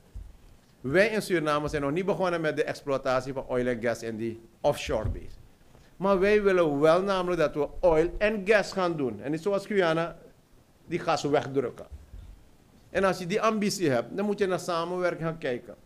En wij zeggen, er moet samenwerking mogelijk zijn tussen Suriname en Guyana, dat we ons gas bij elkaar brengen. Want die gebieden liggen niet ver. En die gas omzetten in goedkope energie in het westelijk deel, daar industriële parken brengen. Daarmee onze bauxiet kunnen genereren, zowel aan Suriname als Guyana kan, door dat te brengen naar West-Suriname. En weer een aluinfabriek daar kunnen opzetten, zonder dat gebied onder water te brengen. Zoals dat vroeger gepland was, maar nu met goedkope energie. En als je die brug daar bouwt, over de quarantainrivier, en die brug leidt naar die highway naar Brazilië, en je zet je haven, je shorebase in Nikeri, en je zet je vliegveld in Nikeri, dat wil zeggen het hele noorden van Brazilië, alle investeerders, alle entrepreneurs, die kunnen hun goederen alleen hier in Suriname afzetten. Want oostelijke kant Atlantische Oceaan en westelijke kant Stille Oceaan is te ver voor hun. En die Amazone-rivier is niet geschikt voor zulke transport. Nou, hier is die kans. Het highway, shorebase. Dat is die toekomst, die regionale ontwikkeling. Die werkgelegenheid gaat eh, eh, creëren. Die zorg gaat dragen voor de economische opleving. Maar die gaat zorg dragen dat heel wat investeerders hier in dit land gaan komen. Die grote investeerders hier van die shorebase hier, vlak hier in Paramaribo. Kommerwijnen, kant waar alvast begonnen is. Je gaat een shorebase daar krijgen, de modernste van DP World in samenwerking met een Surinaams bedrijf. Weet je hoeveel werkgelegenheid gaat ontstaan? Maar het gaat een zuigeffect hebben van de regio door alle containers hier te brengen. Want misschien weten jullie dat niet, maar alle wetenschappers in de wereld hebben al vastgesteld dat die positie van Suriname, daar gelegen in de Noordoosten, geschikt is als een hub. Voor luchtvaart is geschikt als een hub voor vrachtverkeer. Nou, als we dat weten, laten we daarin gaan investeren. Weet u waarom zoveel jaren geleden? Gaat u terug in de historieboeken. Want de jongen op de Tori dat morgen. Was Coroni gekozen als raketbasis. Waarom? Goed gelegen. Geografisch. Goed gepositioneerd. Het is toen niet doorgaan door verkeerde besluiten. Toen der tijd genomen. Het is naar Frans-Guyana gegaan. Hoe last one opportunity. Moeten we weer die opportunities allemaal gaan verliezen nu? Niet onder deze leiding. We gaan gebruik maken van alle mogelijkheden die we hebben als land. Om ons land strategisch te positioneren. Om maximaal gebruik te maken van investeerders. Zodat onze gemeenschappen kunnen mee profiteren van de rijkdommen die we hebben. Dank u wel. Sam, alsjeblieft. Goedemorgen, president, leden van uw kabinet. Sam Blankendal, ABC Nieuwsdienst. Heer president, u heeft aangegeven dat er genoeg vertrouwen is vanuit het buitenland, IMF, IDB. Maar in Suriname zelf is het vertrouwen gedaald. Dat heeft allemaal te maken met de prijzen in de winkels. Wat is de status van de vliegende brigade die u had opgericht om de prijscontroles te doen, controles hout, import en al deze zaken? Een andere vraag, president. Het drugsimago van Suriname kennen we al jarenlang en zelfs politici die we hebben gehad zijn veroordeeld hiervoor. In de Braziliaanse media hebben we onlangs gelezen dat er vier politici betrokken zijn bij mogelijke drugs. Heeft Suriname een reportage gevraagd vanuit de Brazilianen, vanuit welke periode dateert dat? Zijn het misschien leden van het vorige kabinet, dit kabinet? Kunt u ons daarover meer informatie geven? De, bij vorige persconferenties is er vaker de vraag gesteld hoe efficiënt we de, de kosten van hout, goudexport terug kunnen verdienen hier, terug kunnen krijgen hier in Suriname. En u gaf aan het belastingssysteem was nog niet op peil. Heeft u daarvoor kunnen zorgen dat eh, de belastingen die geïn moeten worden op de hout- en goudexporten daadwerkelijk terugvloeien naar Suriname? President, er zou een bosautoriteit komen, had u aangegeven in het verleden. Is er al sprake van het opzetten van deze bosautoriteit? En eh, president, de, er is nog geen directeur bij staatsolie, eh, bij eh, ABS. Is er al eh, iemand in zich daarvoor? En tot slot, voor deze ronde, welk cijfer geeft u de regering voor de afgelopen 2,5 jaar? Want sommige politici zeggen diepe onvoldoende, geeft u zichzelf een 10 als regering. Welk cijfer? 22 maanden. Ja, vooral we regeren 22 maanden hoor. Ik snap dat juist like, we regeren 5 jaar, ik ben. 22 maanden eh, regeren. Het is twee jaar verkiezing. Oké. Ja. Ja, we werken naar eh, herstel van vertrouwen. Het heeft ons veel tijd en energie gekost. Ja, om ons, ons land, ons imago weer te herstellen, internationaal opzicht. Dat is wat ik bedoel. Zijn dingen die misschien te veel achter de schermen voltrokken hebben. Veel overleg met de regeringen, veel overleg met regeringsleiders, veel overleg met internationale instituten, veel overleg met onze uh, schuldeisers. Je zet vertrouwen in. Wat hebben we anders? Wat we kunnen inzetten als nieuwe regering? Vertrouwen, bereidwilligheid om te onderhandelen, bereidwilligheid om te betalen, bereidwilligheid om met internationale instituten samen te werken, bereidwilligheid om internationale programma's te implementeren. Zodoende hebben we vertrouwen gehad. En ik kan je zeggen dat vertrouwen wordt steeds sterker. En men ziet dat we ons aan ons woord houden. Het is niet een regering die hier een IMF-programma tekent. En met het IMF-programma naar het buitenland gaat om te showen, om dan goedkoop kapitaal aan te trekken en daarna de overeenkomst te ontbinden. Dat is niet deze regering. Die dingen hebben wantrouwen achtergelaten. Die dingen hebben diepe sporen achtergelaten in de internationale gemeenschap. En die opmerkingen zijn gemaakt door IMF. Jullie gaan toch niet weer zo doen zoals die vorige regering. Dat is wat ik bedoel. Wat je allemaal niet nodig hebt om het internationaal vertrouwen te herstellen. Nationaal moeten we door blijven investeren. Wat ik wel merk, en je merkt ook in het parlement. Je merkt ook op social media. Je merkt ook aan verschillende programma's. Het is een zeer gepolariseerde samenleving. Waarbij die samenleving niet de hoofdschuldige is. Maar die verantwoordelijken die zorgen voor polarisatie. Etnische polarisatie. Creëren van haat. Dat is wat er gebeurt in de samenleving. Wat zorg draagt namelijk dat er een stukje onverdraagzaamheid ontstaat. We hebben uitdagingen als samenleving. We hebben uitdagingen als leiders. Niemand is er gebaat bij. Als je de ene groep tegen die andere groep gaat aanzetten. Niemand is er gebaat bij. Als je verwijten gaat maken, die groepering krijgt wat en die groepering krijgt niet. Want je creëert wat daar zo. En dat is wat we niet moeten hebben. En die dingen zorgen voor een enorme polarisatie waarbij wij als uitdager, zeker ik als president, de rol moet vervullen om die samenleving te verbinden en te binden. Je ziet wat we allemaal op het paleis doen, nodig alle groepen uit. We moeten verdraagzamer worden, religieus, cultureel. 1 juli straks heb ik weer groepen uitgenodigd. We moeten met elkaar bezig zijn. We moeten niet in hokjes laten plaatsen door leiders vanwege enge politieke belangen. En vanwege belangen die ze allemaal voor zichzelf geheim houden. Maar niet weten wat ze daarmee creëren. Toch? Dat wil ik als eerste opmerken. Maar natuurlijk moeten we kijken naar die rationele zaken als prijzen in de winkels, kosten van levensonderhoud. Daarvoor is ons sociaal programma, daarvoor een sociaal vangnet, daarvoor heb ik net gezegd. Staat op agenda. In feite zou die meeting gisteren plaatsvinden.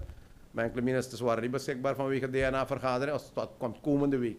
Waarbij we instrumentarium gaan neerzetten om ons sociaal programma effectiever te gaan implementeren naar die sociaal zwakkeren, naar die kwetsbare groepen. En we gaan door. De, minister van, de nieuwe minister van Economische Zaken heeft opdracht al gehad. We gaan die prijzen daar blijven controleren. Maar dan kom ik direct op die vraag van die vliegende brigade. Er is opgetreden, er is een rapport opgemaakt. En daar zie je namelijk dat een van de zaken is namelijk hoe die prijs in de winkel berekend wordt. Namelijk hoe die winstmarge berekend wordt. Op basis van die opkoopprijs. Niet op basis van die importprijs. Op basis van die opkoopprijs daar zo. En hier zie je namelijk het grote verschil. Want er is een grote discrepantie tussen importprijs daar zo. En hier de opkoopprijs. En dat wil zeggen dat tussen de supermarkt en de verkoper hier er nog zoveel schakels zijn of fictief, of gecreëerd, of echte schakels, die zorgen voor verhoging van die prijs daar zo. En dan moet de consument daarvoor betalen. We hebben naar die prijzen gekeken. Die prijzen zijn enorm hoog. Zijn woekerwinsten die men maakt. Maar dit moet je uitschakelen. En dat is een vraagstuk. Wie moet dit uitschakelen? Daar vraag ik ook een stukje verantwoordelijkheid van het bedrijfsleven. Daar vraag ik ook een stukje verantwoordelijkheid ook van die tussenschakels. Iedereen mag een living hebben. Iedereen mag een klein beetje winst maken. Maar laat het een zoete winst zijn. Laat iedereen mee profiteren van de zoete winst. En laat niet door woekerwinst de ene groep helemaal uitgeschakeld worden, tot slachtoffer gemaakt worden. Want die partij waar ik in zit, VHP, wel laten zien dat als je die producten direct van hier neemt en direct hier naar die consument, dat het 50% goedkoper is. Want ze hebben geen infrastructuur om dat naar de hele samenleving uh, te brengen. Maar het kan wel. En dit moeten ook die andere bedrijven eh, gaan doen. De Vliegende Brigade heeft gevraagd voor structurele maatregelen, want hierdoor kunnen ze niet goed optreden. Ik heb een adviseur van mij op het kabinet gevraagd voor de reorganisatie van de Vliegende Brigade. Ik heb twee weken geleden het rapport gehad en er komt binnenkort een nieuwe Vliegende Brigade, maar wel onder leiding van het Openbaar Ministerie, zodat het Openbaar Ministerie het rechtstreeks kan aansturen en ook die sancties kan treffen en ook die maatregelen kan treffen. Dan gaat het effectiever uh, functioneren. Ja, um,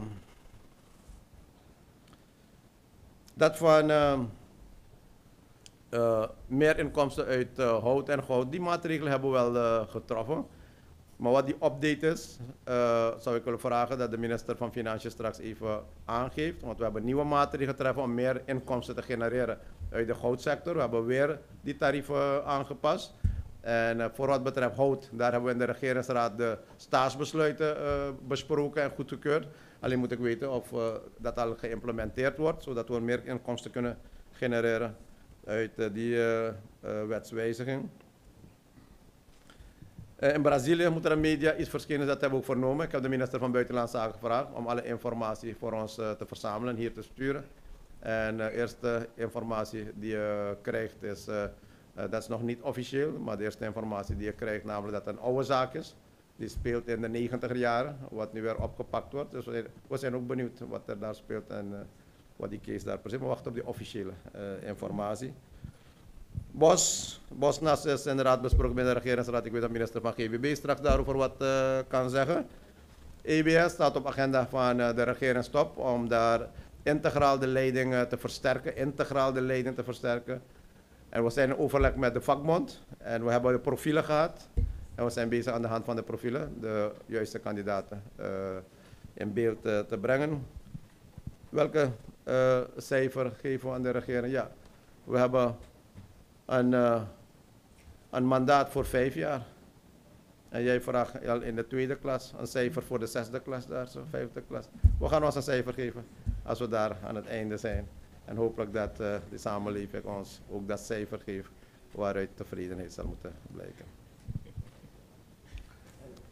Dank u wel. Um, alvorens de volgende spreker gaat, ook online nemen collega's uh, van u mee, uh, deel, nemen deel aan deze persconferentie. Dus de vraag die er komt van de heer Wilfred Lewin.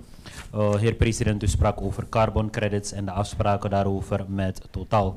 Kunt u aangeven wat er gebeurd is met het HFLD-platform, waar Suriname door de internationale gemeenschap is erkend als leider van HFLD-landen om alle technische deskundigheid en informatie te verzamelen op zoek naar klimaatverandering.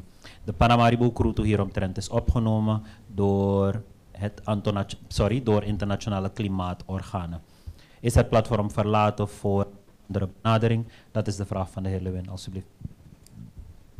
Ja, eh, wat ik hier kan zeggen als minister van uh, ROM, die, ja, als u alvast kunt voorbereiden op die uh, detailzaken. Maar voor wat betreft het beleid wat we als regering hebben, is namelijk dat we als land geconfronteerd worden met de effecten van klimaatsverandering. En we hebben gezien wat er gebeurd is op COP 26, waar ik zelf aanwezig was de wereld erkent namelijk uh, dat uh, uh, we als wereld ons moeten gaan veranderen. Als landen, als leiders, als regeringen, maar ook als mensen, als bedrijven, als private instellingen. En we moeten ons beleid drastisch veranderen om die uitstoot te verminderen. Er is nog enorme uitstoot. Wij zeggen namelijk als land Suriname samen met Panama en Bhutan zijn wij de enige drie landen in de wereld met een carbon-negatieve status. Dus ons uitstoot is minder dan datgene wat wij absorberen. En dat geeft ons een negatieve status. Dit verschil, dat is die carbon credit, wat wij moeten kapitaliseren. En internationaal zijn er systemen ontwikkeld en berekeningsmodellen wat dat je oplevert en dat je daarvoor geld kan krijgen. Dit beleid is niet ontwikkeld afgelopen jaren. En dit moeten we met een inhaalslag gaan ontwikkelen. Want in feite wo- wordt ons land achtergesteld van inkomsten die daar zijn, die nog onvoldoende ons kunnen bereiken, omdat er onvoldoende eh, initiatieven zijn ontplooid om met het berekeningsmodel wat er eh, beschikbaar is in de wereld, dit goed te gaan doorberekenen in Suriname beleid te ontwikkelen. Natuurlijk heb je niet overal deskundigen eh, beschikbaar. Total Energies heeft zich aangeboden als een eh, energiebedrijf, een oliemaatschappij, om ons te ondersteunen bij het verrichten van het onderzoek. Het is niet een eh, overeenkomst waarbij ze het recht claimen dat ze die carbon credit strategie naar zich toe trekken. Nee, ze willen ons bijstaan met technische bijstand, met de studie. Inmiddels hebben we ook andere landen gehad, inmiddels hebben we ook andere deskundigen gehad. We hebben een presentatie vorige week gehad van deskundigen van het buitenland, ook op het van carbon credit. En daarom hebben we beslist dat Suriname een nationaal team moet hebben om ons eh, eh, carbon credit beleid te gaan ontwikkelen. Maar we zien namelijk wat die klimaatverandering meebrengt. Veel regen, veel water, daar in het achterland, maar ook in onze kuststrook komt de oceaan die warmer wordt. En dat zijn allemaal gevolgen. Kunnen we als land dat alleen aanpakken? Nee, je moet het internationaal en regionaal gaan aanpakken, zodat we financiële middelen krijgen om, onze, om ons land te beschermen tegen, de, eh, tegen stijgend water. We hebben een hele lage kustlijn. En daarvoor hebben we weer een deskundige eh, uit eh, Canada gehaald eh, en uit eh, Engeland. Die hebben de presentatie afgelopen week gepresenteerd. Namelijk hoe we onze mangrovencultivatie kunnen verruimen, versneld eh, verruimen. Samen met onze deskundigen. Professor Naipal is daar goed gesprek eh, mee geweest. Dus ook daar zijn we bezig. Maar tegelijkertijd, als je die mangroven plant, is het niet alleen, laat me zeggen, planten ter bescherming van jouw kust. Maar die plantmangroven levert ook bijdrage aan je carbon credit in de wereld. Dus een win-win situatie. Maar al deze dingen worden uitgewerkt. We gaan eh, mijn eh, Rom straks vragen om in te gaan, ook die andere ministers straks in te gaan nadat mijn ronde is eh, afgesloten. Hopelijk kan het heel snel gebeuren, maar ik kijk uit naar de volgende vraagsteller. Alsjeblieft. De volgende vraag. Goedemorgen, president, vicepresident, ministers. President, met betrekking tot de communicatie over uw voorzitterschap eh, over een maand in juli. ehm, waarom, wat kunnen we verwachten van de regering of wat, kunnen we verwachten van u als president? Er wordt gekeken naar Suriname ter, als we kijken naar de ontwikkelingen, als we kijken naar de voorbereidingen, het betalen van onze schulden binnen de CARICOM. In hoeverre wordt dit gecommuniceerd naar de samenleving? Met betrekking tot eh, onze schulden, u geeft aan, of u heeft gezegd dat wij niet in staat zijn de schulden te betalen, maar we hebben toch wel een monetaire reserve kunnen opbouwen. Ehm, als je gespaard hebt, dan denk ik wel dat, het, dat je gedeeltelijk de schulden zou kunnen aflossen. In hoeverre kunt u ons daarover inlichten of voorlichten? Met betrekking tot de gezondheidszorg. Het is bekend dat de kinderafdelingen van de verschillende ziekenhuizen ehm, hun capaciteit niet optimaal is. En dat ze dus mensen moeten, of mensen moeten afvloeien of kinderen moeten afvloeien. vloeien. En nu is er ook een situatie met betrekking tot baby's die COVID hebben. President, ehm, wanneer kan de minister van Volksgezondheid ons informeren over de situatie met betrekking tot onze kinderen? Want het heeft te maken met Surinamers, jonge Surinamers die opkomen. In hoeverre wordt dat opgelost? Met betrekking tot de productie van Suriname, productiviteit. uh, we hebben de minister van uh, Economische Zaken hier. In hoeverre wordt er gewerkt aan het meer gaan produceren dan importeren? Want we hebben een markt, we hebben genoeg uh, innovatieve ondernemers die willen werken. In hoeverre wordt, zal dat gestimuleerd worden vanuit uw regering? En tot slot nog één vraag voor de minister van LVV. Onze binnenlandbewoners die zijn over, voor het overgrote deel landbouwers. In hoeverre worden zij vergoed? Um, kunnen zij een vergoeding krijgen vanuit het ministerie om toch weer te kunnen om toch weer landbouw te, uit te kunnen oefenen en toch weer de productie te kunnen verhogen. Want het is belangrijk dat ook daar is er een markt voor uh, verschillende landbouwgewassen. Dus in hoeverre wordt dit gestimuleerd vanuit de regering? Ja, president. Ja, bedankt. Ja, inderdaad is uh, uh, misschien naar de samenleving een beetje stil voor wat betreft uh, CARICOM. Maar daar komt binnenkort een verandering. Maar daar achter de schermen, broeder, gebeurt er enorm veel. Gisteren heb ik nog flink gecommuniceerd met de secretaris-generaal van CARICOM. We zijn elke dag bezig als CARICOM staatshoofden om issues te bespreken. Issues die te maken hebben met de Summit of Americas. Die gaat uh, plaatsvinden vanaf 7 juni in Los Angeles, Amerika. We hebben issues die te maken hebben met climate financing. Dezelfde vraag die net gesteld is. Die conferentie is geweest afgelopen dagen in Guyana. we hebben ook virtueel geparticipeerd we hebben ook, nee, mijn excuses. Er is een conferentie geweest voor die agro-industrie in Guyana. Agro-industrie, die virtuele conferentie aan climate change is niet doorgegaan.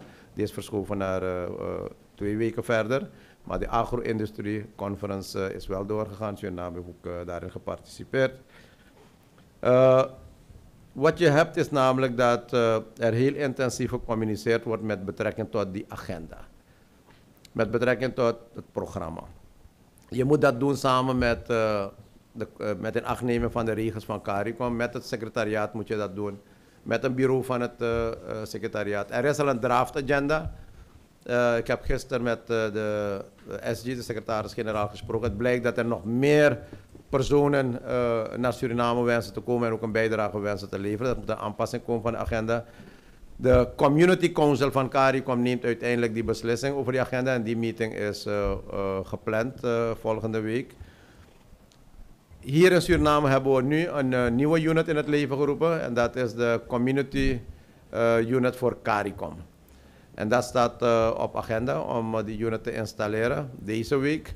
Dan hebben we een desk, een communicatiedesk alleen voor de communicatie met betrekking tot CARICOM, informatie, verschaffing, radioprogramma, televisieprogramma, clips die gaan komen. Zodat ieder geïnformeerd kan worden over uh, de conference. Er is enorm belangstelling voor de conferentie. In uh, Suriname ook heel wat uh, spirituele leiders die vragen om ook de conferenties, conferenties spiritueel te kunnen bijwonen. en ik heb gisteren met de SG gesproken. Er komt een CARICOM-secretariaat naar Suriname. Om met het team van uh, uh, CARICOM-organisatie van Suriname alles door te nemen. De faciliteiten, de vergaderruimte, de communicatie, equipment. alles wat nodig is voor een goede con conference.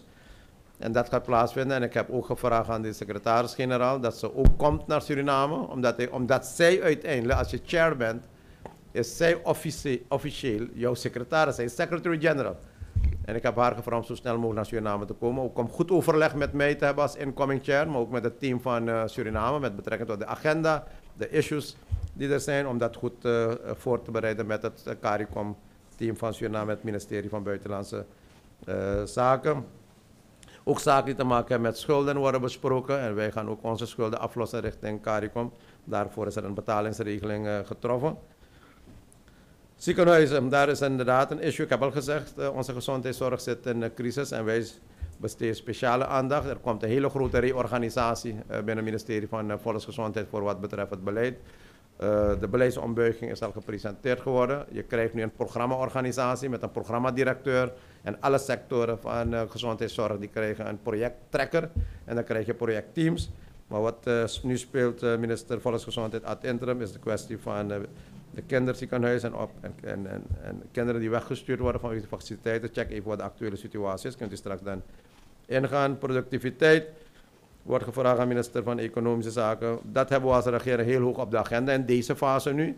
Van stabilisatie en om te gaan naar uh, groeifase. Waarbij wij uh, heel wat fondsen in het leven hebben geroepen. Ook samenwerken met de particuliere sector. Heel wat projecten geïdentificeerd hebben in het kader van investering. Maar ook uh, in de Caribische regio werken we nauw samen. Je weet dat Guyana trekker is van de agro-industrie. Uh, wij werken samen in CARICOM-verband om ook gronden ter beschikking te stellen voor investeerders van Suriname. Die samen met investeerders van CARICOM bereid zijn te investeren. Dat zijn zogenaamde agriculture land wat we ter beschikking stellen als Guyana en Suriname. Inmiddels zijn we al heel ver gevorderd met ons voorbereiden voor ons kokos project met buitenlandse investeerders. Die investeerders zijn vorige week geweest om finale zaken met ons te bespreken. Trekker is het ministerie van uh, eh, LVV. We zijn ook bezig met het project van sojateelt. Daar zijn de ondernemers ook al gekomen naar Suriname. En uh, de minister is inmiddels gegaan naar Brazilië om deze zaak verder te bespreken. Ook deze zaken worden goed aangepakt, zodat we nu in ons eh, eh, vervolg derde eh, regeertermijn al die zaken kunnen gaan implementeren op het gebied van de agrarische sector. Maar natuurlijk speelt het aspect van de inspectiemechanismen voor het controleren van onze eh, voedsel, onze groenten voor export. De minister kan daarom daar meer informatie geven, want er is enorm veel vraag van Surinaamse producten in het buitenland, ook in de Caribische regio. Vooral de Barbados, de prime minister Mia Motley, die is zeer geïnteresseerd. En we gaan een overeenkomst tekenen met eh, Barbados tijdens haar aanwezigheid in de eerste week van juli hier in eh, Suriname, met name voor de agrarische eh, sector. Minister Economische Zaken kan later verder ingaan. En eh, LVV, vergoeding van binnenland. Ik weet dat er veel vergoedingen geweest zijn naar het binnenland toe. De minister kan daarop ook eh, informatie. Maar de grootste uitdaging is, en ik denk dat dat bijzonder belangrijk is voor de, de samenleving, is als dit ding doorgaat, wat in het binnenland nu aan het gebeuren is met zoveel water en zoveel regen. Ik ben zelf geweest. Die gronden worden allemaal vochtige gronden. En wat denk je wat er met de cassave gaat gebeuren? En met die nappie gaat gebeuren? En met die zoete eh, patat gaat gebeuren? Je gaat op een gegeven moment een situatie krijgen dat die gronden niet meer geschikt zijn. Dus je zal nu al moeten beginnen met die trans- transitie naar andere producten, zoals rijst en andere producten die in vochtige gebieden. Of je moet die moderne technologie daar gaan brengen van kassenteelt. Want het probleem is veel ruimer dan alleen kijken naar wateroverlast. Het heeft impact op de bodem, op de, op de grond en de kwaliteit van de grond voor wat betreft eh, eh, de agrarische thema. De minister kan daarover eh, nadere informatie eh, geven. Volgende vraag alsjeblieft. Goedemorgen allemaal. Ehm, president, nog even, u zei iets over eh, het geld wat de Nederlandse regering nog niet op de begroting zou hebben voor de samenwerking met Suriname. Heb ik dat goed begrepen? Hoe zit dat precies en om hoeveel Ja. geld gaat het? Ja, ja. En voor welke periode? En ik ben benieuwd of u mag zeggen ehm, op welke plekken die vier of zes shorebases komen. Dat komen wij al genoemd. En misschien ook eh, uit welke landen die bedrijven komen die die shorebase eh, als, primaire, als primair bedrijf trekken, samen met Surinaamse bedrijven. En u heeft iets, of er was een vraag eh, ook over de ehm, public sector eh, reform. Dat betekent volgens mij dat het erom gaat, of nee, laat ik het, laat ik het als een echte vraag stellen. Ehm, is het zo dat de regering ook probeert minder ambtenaren op de loonlijst te krijgen? En zo ja, hoe moet dat dan gebeuren? En wat ik me soms afvraag, hè, wordt vaak eh, gezegd van eh, werkgelegenheid is belangrijk en dan komen de bedrijven en die zeggen we- gaan voor heel veel werkgelegenheid zorgen. Maar volgens mij is er, helemaal, is er een groot tekort aan mensen in Suriname die dat werk kunnen doen. Dus hoe werkt dat? En dan kan je blijven vragen of die bedrijven komen, maar als die mensen er niet zijn. Ja, eh, Dus ik heb er al eens eerder met een van uw ministers over gehad. En dan kom je misschien op bevolkingspolitiek. Ik weet niet, nou ja, hè, dus hoe, hoe, wat, hoe wordt dat opgelost? Dank Ja. u wel. Ja, bedankt. Ja, Alvan, mag ik antwoorden? Alsjeblieft. Ja, ik vind het ook wakker hoor. Ja, kijk, eh, ten aanzien van eh, eh, de ondersteuning die we van Nederland eh, krijgen. Wat ik net aangegeven heb, is namelijk dat men toch alles gedaan heeft om die samenwerking mogelijk te maken door middel van Macandra Fonds. Macandra Fonds is eh, inderdaad eh, eh, een, een, een financieringspot wat afkomstig is vanuit verschillende instituten. En daar is een behoorlijk eh, bedrag, niet veel, voor een structurele en duurzame samenwerking. Er liggen tientallen miljoenen erin. En dat wordt nu gebruikt voor de technische bijstandsprogramma, voor de missies die hier allemaal komen. Nu zijn twee burgemeesters hier. En u weet, eh, een gemeente heeft ook enorm veel eh, budgetten. En dat is wat we gisteren eh, ook gezegd hebben aan de burgemeester, dat we graag samenwerken willen. En liefst samenwerken willen intensiveren bij uitvoering van ons beleidsprogramma. Waarbij de gemeente ook de ruimte krijgt om na te gaan welke van die projecten van ons, die 200 zoveel projecten, zij ook kunnen financieren. En is gevraagd geworden dat ze een presentatie van ons willen. Om al deze eh, projecten te bezichtigen. En als het goed is, moet vandaag of morgen die presentatie aan hun eh, plaatsvinden. Zodat ik een beetje beeld heb. Dan kunnen zij ook nagaan welke van die projecten aansluiten bij hun eh, programma en bij hun begroting. Maar gelet op die nieuwe samenwerking die we zijn aangaan, verwachten wel van Nederland, namelijk dat er ook in hun begroting mogelijkheden verruimd worden voor de intensivering van de samenwerking. Wat lopend is, is het bedrag van eh, 18, eh, ongeveer 18,5 miljoen eh, euro. Als het zijn restant van de verdragsmiddelen. Daar is er al een tentatief eh, besluit al genomen voor die bestemming. En er is een issue wat eh, ophoudt, laat me dat eerlijk zeggen. Het is een issue wat in feite eh, de besteding van de restant verdragsmiddelen ophoudt. En dat is namelijk dat eh, vanaf eh, 2010 tot 2012 uh, moeten zijn, er geen accountantsverslag is gekomen voor die, voor die eh, uitgaven voor het bouw van het hoofdbureau van politie. En dat is wat men nodig heeft. Eh, we, hebben- we konden de informatie niet vinden, maar we hebben nu een accountantbureau ingeschakeld om de informatie voor ons te zoeken en dat te finaliseren. Als dat gebeurd is, dan eh, hebben we weer eh, ruim 18,5 miljoen eh, euro eh, voor uitvoeren van verschillende projecten die al geïdentificeerd zijn. Maar dat hoofdbureau van politie, dat gaat door. Of het met eigen middelen gaat, of met restantmiddelen. Die bouw gaat door. De eerste rapportages hebben we van het ministerie van Openbare Werken. En eh, vermoedelijk zal het misschien niet die, het ambitieus eh, drie-etage hoofdbureau van politie worden, maar we gaan naar twee etage.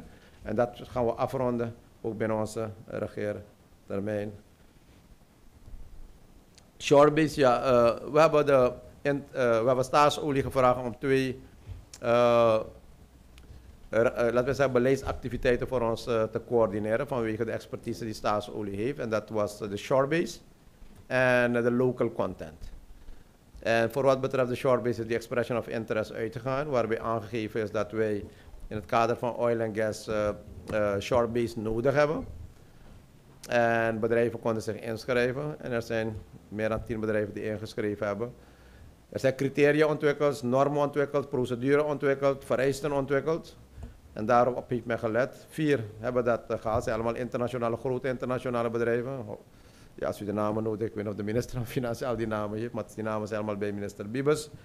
Eh, ze hebben allemaal antwoord gehad dat ze in ieder geval door die screening heen zijn. En ze hebben nu goedkeuring gehad dat ze kunnen beginnen met hun investering. En het bericht wat ik gehad heb van het lokaal bedrijf van Suriname, dat is Integra Marine, dat eh DP World binnenkort gaat starten met de investeringsactiviteiten in het district uh. En al die anderen hebben ook eh, lokaliteiten in de, laat me zo heel voorzichtig uitdrukken, ten noorden van Suriname rivier. Als ik zo ruim mag noemen. Vanaf de haven ten noorden van Suriname rivier. Eh, twee hebben ook eh, in Nikeri, maar die hebben nog geen eh, land kunnen presenteren. En één is bezig met havenbeheer om een land te identificeren, een stukje grond te identificeren. En de minister, is, minister van GBB is bezig. De minister van GBB heeft een werkgroep samengesteld om alles te onderzoeken met betrekking tot die status van die grond. En als alles goed zal zijn, dan zal het niet lang duren dat ze ook een stukje grond kunnen krijgen. Ehm, ja, voor wat betreft de ambtenaren gaat de minister van Binnenlandse Zaken vragen om heel kort straks hierop in te gaan. Hij heeft een heel team, eh, eh, de regering heeft goedgekeurd een stuurgroep met betrekking tot public sector reform. Eh, er is een actieplan gepresenteerd welke maatregelen allemaal getroffen gaan worden. De eerste maatregel, de regering heeft dat ook goedgekeurd in het kader van eh, die public sector reform en de minister van Binnenlandse Zaken kan daarover eh, technisch en detail meer informatie geven. Mevrouw, u had een heel belangrijk vraagstuk van werkgelegenheid. Inderdaad, als je zo vraagt eh, naar arbeid of naar andere belangrijke instituten over eh, de situatie van werkloosheid, dan zie je dat er werkloosheid is. Maar ik kan u zeggen, u heeft gelijk. Als bedrijven nu werknemers nodig hebben, hebben ze niet. Er zijn geen werknemers, maar er is daar wel een lijst van werklozen. Dus er is een discrepantie waarbij een nader onderzoek moet plaatsvinden. Ik denk dat uh, minister Economische Zaken, minister Arbeid, minister Onderwijs even goed moeten onderzoeken van wat is die groep die geregistreerd staat als werkloos en wat is hier wat nodig is. En misschien moet die discrepantie overbrugd worden door deze groep te gaan trainen, zodanig dat ze marktgericht getraind kunnen worden en ingezet kunnen worden. Want als je inderdaad grote investeerders, en u heeft gelijk, we hebben twee grote investeerders gehad afgelopen week. Eén is een kokos, aanplant, en de tweede is uh, uh, soja. En met beide hebben we gevraagd, hoe gaan jullie dat doen? Met de arbeid. Gelukkig zeggen ze, we gaan eerst lokaal proberen. En hopelijk dat we lokaal kunnen krijgen. Maar als het niet lukt, gaan we aan de regering vragen dat ze hun arbeiders mogen binnenbrengen. Inmiddels heb ik aan de minister van Bibels de opdracht gegeven dat uh, alle bedrijven en alle investeerders die hier wensen te investeren, in hun investeringsplan ook moeten meenemen dat vraagstuk van beschikbaarheid van arbeid. Anders hebben we een probleem straks. Dat we wel een investering goedkeuren en dat we daarmee een probleem gecreëerd hebben, omdat men onvoldoende ingespeeld had op dit vraag. Dus ze moeten in hun uh, bedrijfsplan, hun investeringsplan ook opnemen.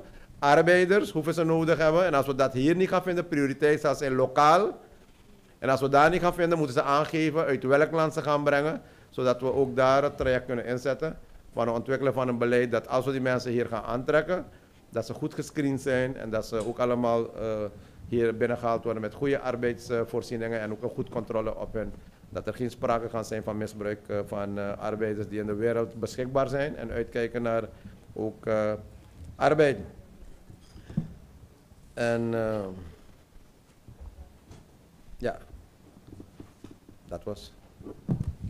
Dank u wel. Um, vanwege de tijd die niet onze bondgenoot is, willen we um, nog even overgaan naar de ministers die vragen hadden. En dan wil ik dan de president de laatste ronde de gelegenheid geven om af te sluiten en eventueel nog mee te nemen. Ja, ik zie u, ik zie u. We gaan even de minister het woord stellen en dan komt de president weer. Er waren vragen dat de minister van LVV een bijdrage gaf. Minister, bent u ready?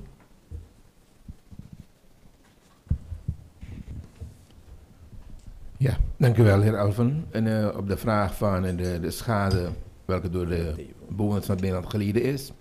We praten hier over een uh, schade welke vorig jaar was opgelopen, waar de opnames waren gepleegd. En ik kan u daar vertellen, zoals ik onlangs ook in DNA heb geantwoord, ongeveer 300 boeren hadden zich opgegeven, waarvan ongeveer twee derde reeds betaald is. Bij een, een derde speelt nog het geval van een bankrekening. Maar we zijn nu bezig te kijken van hoe wij die toch nog kunnen oplossen. Omdat bij bepaalde het nog heel moeilijk gaat om een bankrekening geopend te krijgen. Wat de schadevergoeding van dit jaar betreft, de, het onderwaterlopen van de afgelopen paar weken. Uh, heel veel van de gronden, of de meeste gronden, liggen nog onder water, waardoor wij nog geen schade kunnen opmaken. Maar met dat het waterpeil een beetje gezakt is, dan gaan we dat doen. En als dat gebeurd is en de schade bekend is, dan uh, zal daarover de regering zelf een besluit moeten nemen. Uh, ik in mijn eentje kan daarop geen antwoord geven.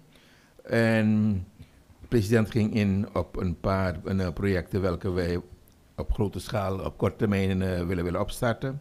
Inderdaad, het gaat om kokos en om soja.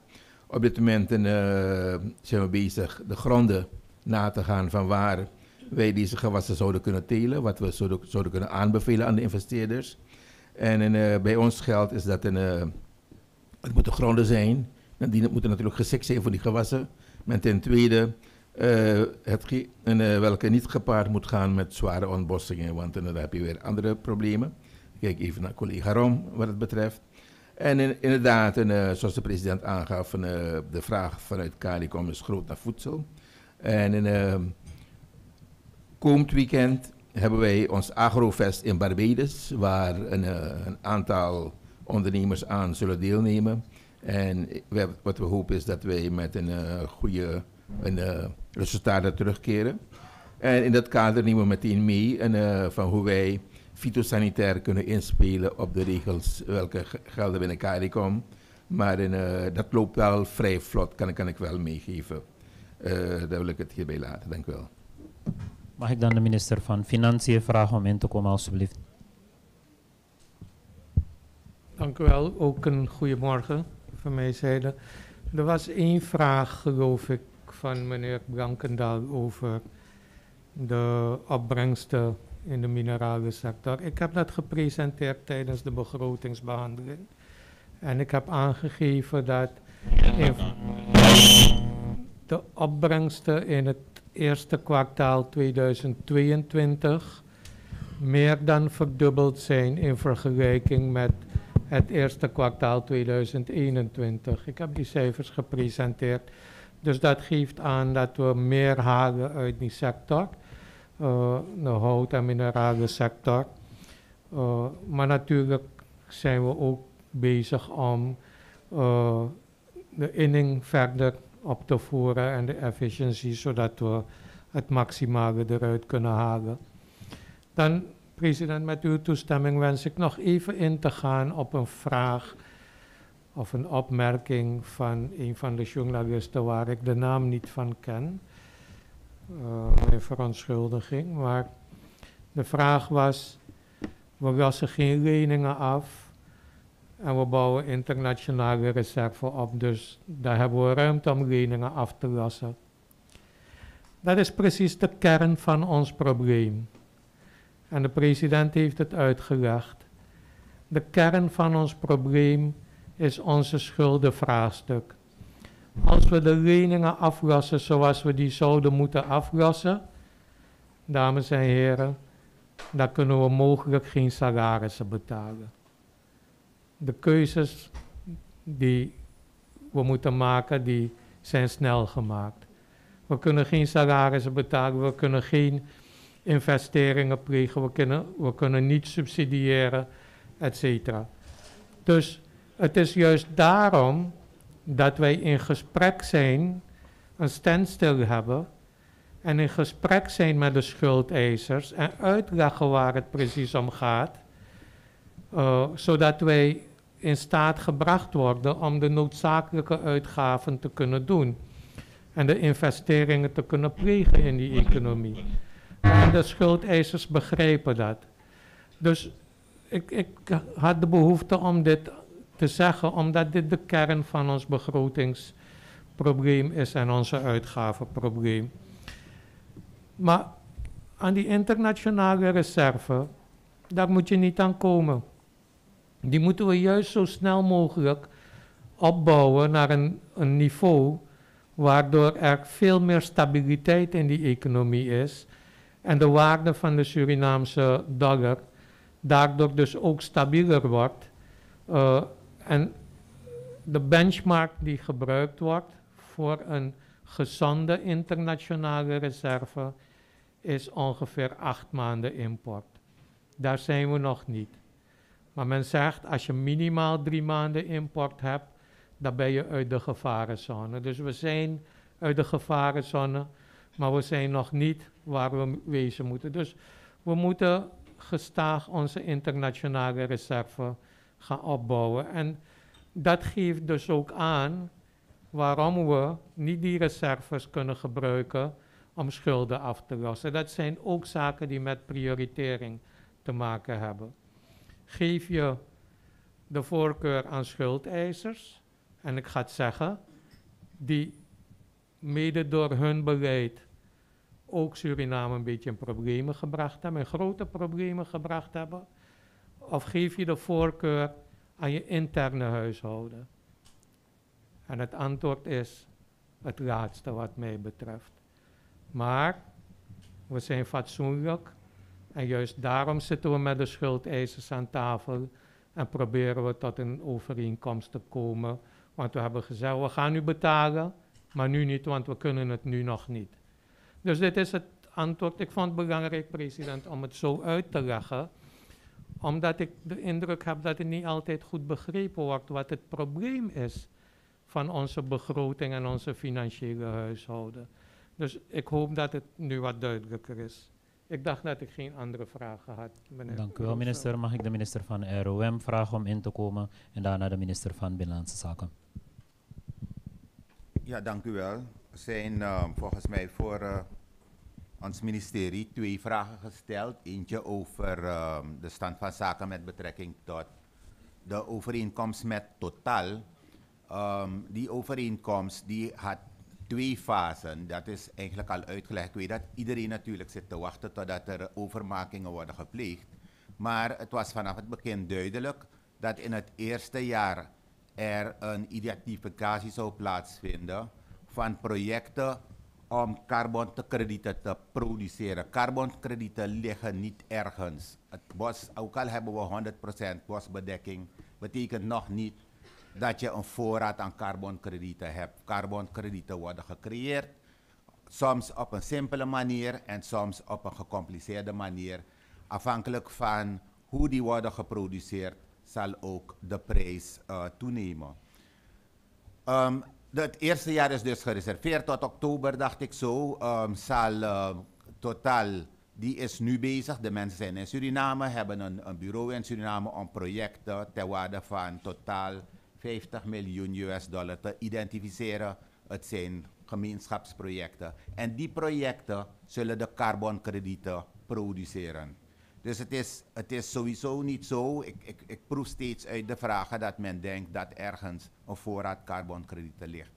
Tweede punt is uh, die kwestie van HFDL, Highly Forested Low Deforestation Countries. Het was een initiatief van Suriname tijdens de vorige regering.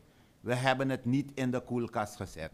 Wat er wel is gebeurd met HFLD, dat initiatief is eigenlijk de wind uit de zeilen gehaald, om het maar zo te zeggen, door andere, zeg maar, meer tastbare initiatieven.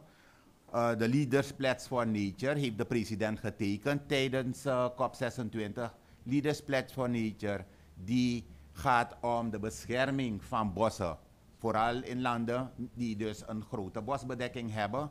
En dat daar dus een mechanisme mee wordt gecreëerd waar je uiteindelijk financiering en technische assistentie uit kan halen. Um, Suriname is um, um, ook nu, we zijn nu bezig met een ander initiatief, 3030 initiatief, dat eigenlijk min of meer hetzelfde doel heeft. Dus ik denk dat deze vraag is vaker gesteld. Het is niet zo dat men ervan uit moet gaan dat het principe van HFLD dat het overboord is gegooid. Maar het is niet meer de hoogste prioriteit, omdat de doelstellingen van dat initiatief eigenlijk zijn overschaduwd door meer tastbare doelinitiatieven. En vandaar dus dat er, er, er zo zeg maar, veel minder in wordt geïnvesteerd. Ik laat het daarbij, als er meer informatie, als er behoefte is aan meer informatie, zijn we altijd bereid om uh, die te geven in een um, one-on-one um, uh, gesprek. Dank u wel. Dank u wel, minister Somaharjo.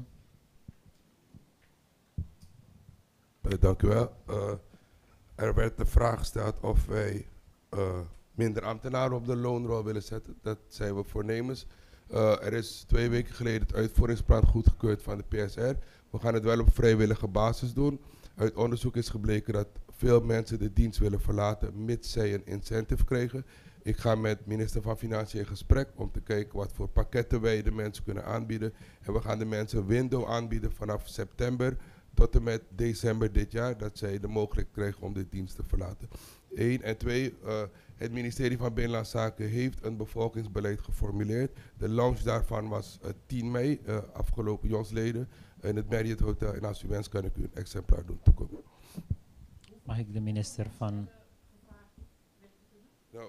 volgens het onderzoek is 20% bereid of 25% houdt u me ten goede om de dienst vrijwillig te verlaten. Dank u wel. Mag ik minister uh, Kuldeep Singh vragen om in te komen? Dank u wel. En van harte goedemorgen. Um, inderdaad is het uh, het beleid van het ministerie van uh, Economische Zaken om de lokale productie te stimuleren. En we zijn momenteel nu bezig om uh, alle lokale ondernemers te identificeren en te registreren.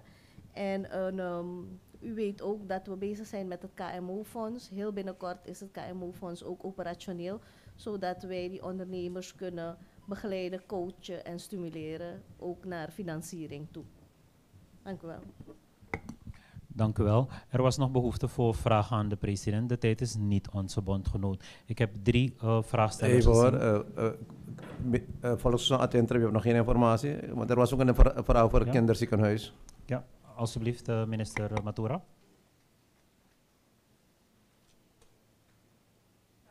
Goedemorgen. Inderdaad is er een uitdaging bij de ziekenhuizen vanwege personeelstekort om in voldoende mate uh, te kunnen functioneren en de dienstverlening te kunnen garanderen. Maar wat de ziekenhuizen zeggen dat er geen opnamestop is. Er is een enorme personeelstekort, dat proberen we op te vangen en te verhelpen. Maar het is geen opnamestop voor kinderen in ziekenhuizen. En er was ook uh, opmerking over COVID. We hebben inderdaad gezien dat er afgelopen weken een lichte toename is van aantal COVID-gevallen. Er is gecommuniceerd vanuit het ministerie met alle huisartsen. En wij zijn bezig, of er is gevraagd dat huisartsen de COVID-testen gratis doen. Dat wanneer mensen symptomen hebben, dat ze contact kunnen maken. En dat zij dus uh, de testen kunnen halen bij BOG, zodat inderdaad die dienstverlening er is. De cijfers die we hebben zullen niet een goed beeld geven, omdat heel veel mensen eigenlijk niet gaan testen op dit moment. Uh, gewoon ook omdat uh, die gratis testen er niet meer zijn. Maar dat proberen we nu weer uh, op te pakken. We proberen de voorlichting weer op te pakken. Dus dat is de situatie op dit moment. Ik moet zeggen inderdaad dat gezondheidszorg een grote uitdaging is vanwege de.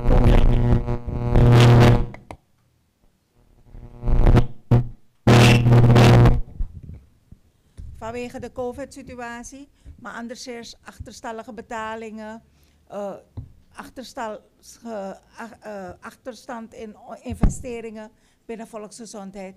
Maar net wat de president heeft gezegd, er is een beleidsplan, een plan om dat allemaal op te pakken en op niveau te brengen.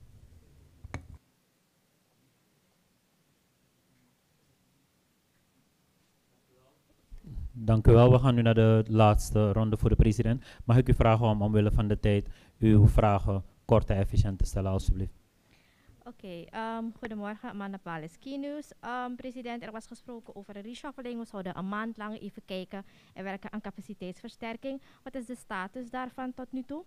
Um, u heeft aangegeven dus dat het, de gebieden die te kampen hebben met wateroverlast een officiële status als ramp krijgen. Wat zal dat officieel betekenen als qua hulp naar de mensen toe? Want ze vragen er echt naar. En ik zie de minister van, um, minister Abiamofo niet. Maar um, Ernst Jong heeft een doorlichting gedaan van um, EBS. En ze hebben aangegeven dus dat de tarieven veel goedkoper aangeboden kunnen worden als de EBS efficiënter te werk gaat. Gaat dit opgenomen worden bij de bepaling van de nieuwe energietarieven en wanneer gaat dat in? Dat waren vragen. Woord als de volgende persoon alvast uh, gereed staat. Ja, uh, bedankt. De reshuffling, capaciteitsversterking, evaluatie, alles tegen de achtergrond van evaluatie zal doorgaan. Het is een ongoing proces. En we voeren ook de evaluatiegesprekken binnen de regeringstop. Wat ik als president al begonnen ben en wordt voorgezet. De, ik heb individuele gesprekken met uh, de ministers. dan hoor ik namelijk welke de problemen zijn. dan hoor ik ook namelijk welke de belemmeringen zijn. En die zaken worden op regeringsniveau verder dan beslist. Natuurlijk kijken we namelijk als bij het uitvoeren van het beleid ernstige manco zijn. En wij als regering hebben geen beleid ontwikkeld. Want ik weet dat het aspect van reshuffelen een bepaalde naam gekregen heeft. als je tien jaar lang reshuffling als oplossing gebruikt voor allerlei issues, of om problemen af te leiden, of om aandacht af te leiden, of om wat dan ook, dan wordt het op een gegeven moment als normaal geaccepteerd dat je een regering hebt om te reshuffelen. Dat is niet het beleid van deze regering. Deze regering heeft een beleid om regelmatig het beleid te evalueren en om te gaan naar beter en beter beleid. En als daar binnen dat kader er vervanging moet plaatsvinden, dan wordt dat ook besproken in de coalitie, wordt besproken in de regering, wordt besproken binnen de regering. En uiteraard bestaat de coalitie uit politieke partijen, waarbij die politieke partijen ook een stukje verantwoordelijkheid hebben om die evaluatie ook uh, te plegen. Maar het zal een ongoing proces zijn, niet alleen van de regering, net zoals eerder aangegeven, ook van de parastatalen, net zoals uh, eerder ook uh, aangegeven, zal het ook gelden voor andere instituten zoals uh, districtscommissarissen, als staatsraad, etc. Et Uiteindelijk, en dat is wat u zegt, we willen beter, we willen capaciteitsversterking hebben. En daar gaat het met name om, als we projecten willen uitvoeren, willen sterke ministeries hebben, willen sterke instituten hebben. En daarvoor hebben we een programmaorganisatie.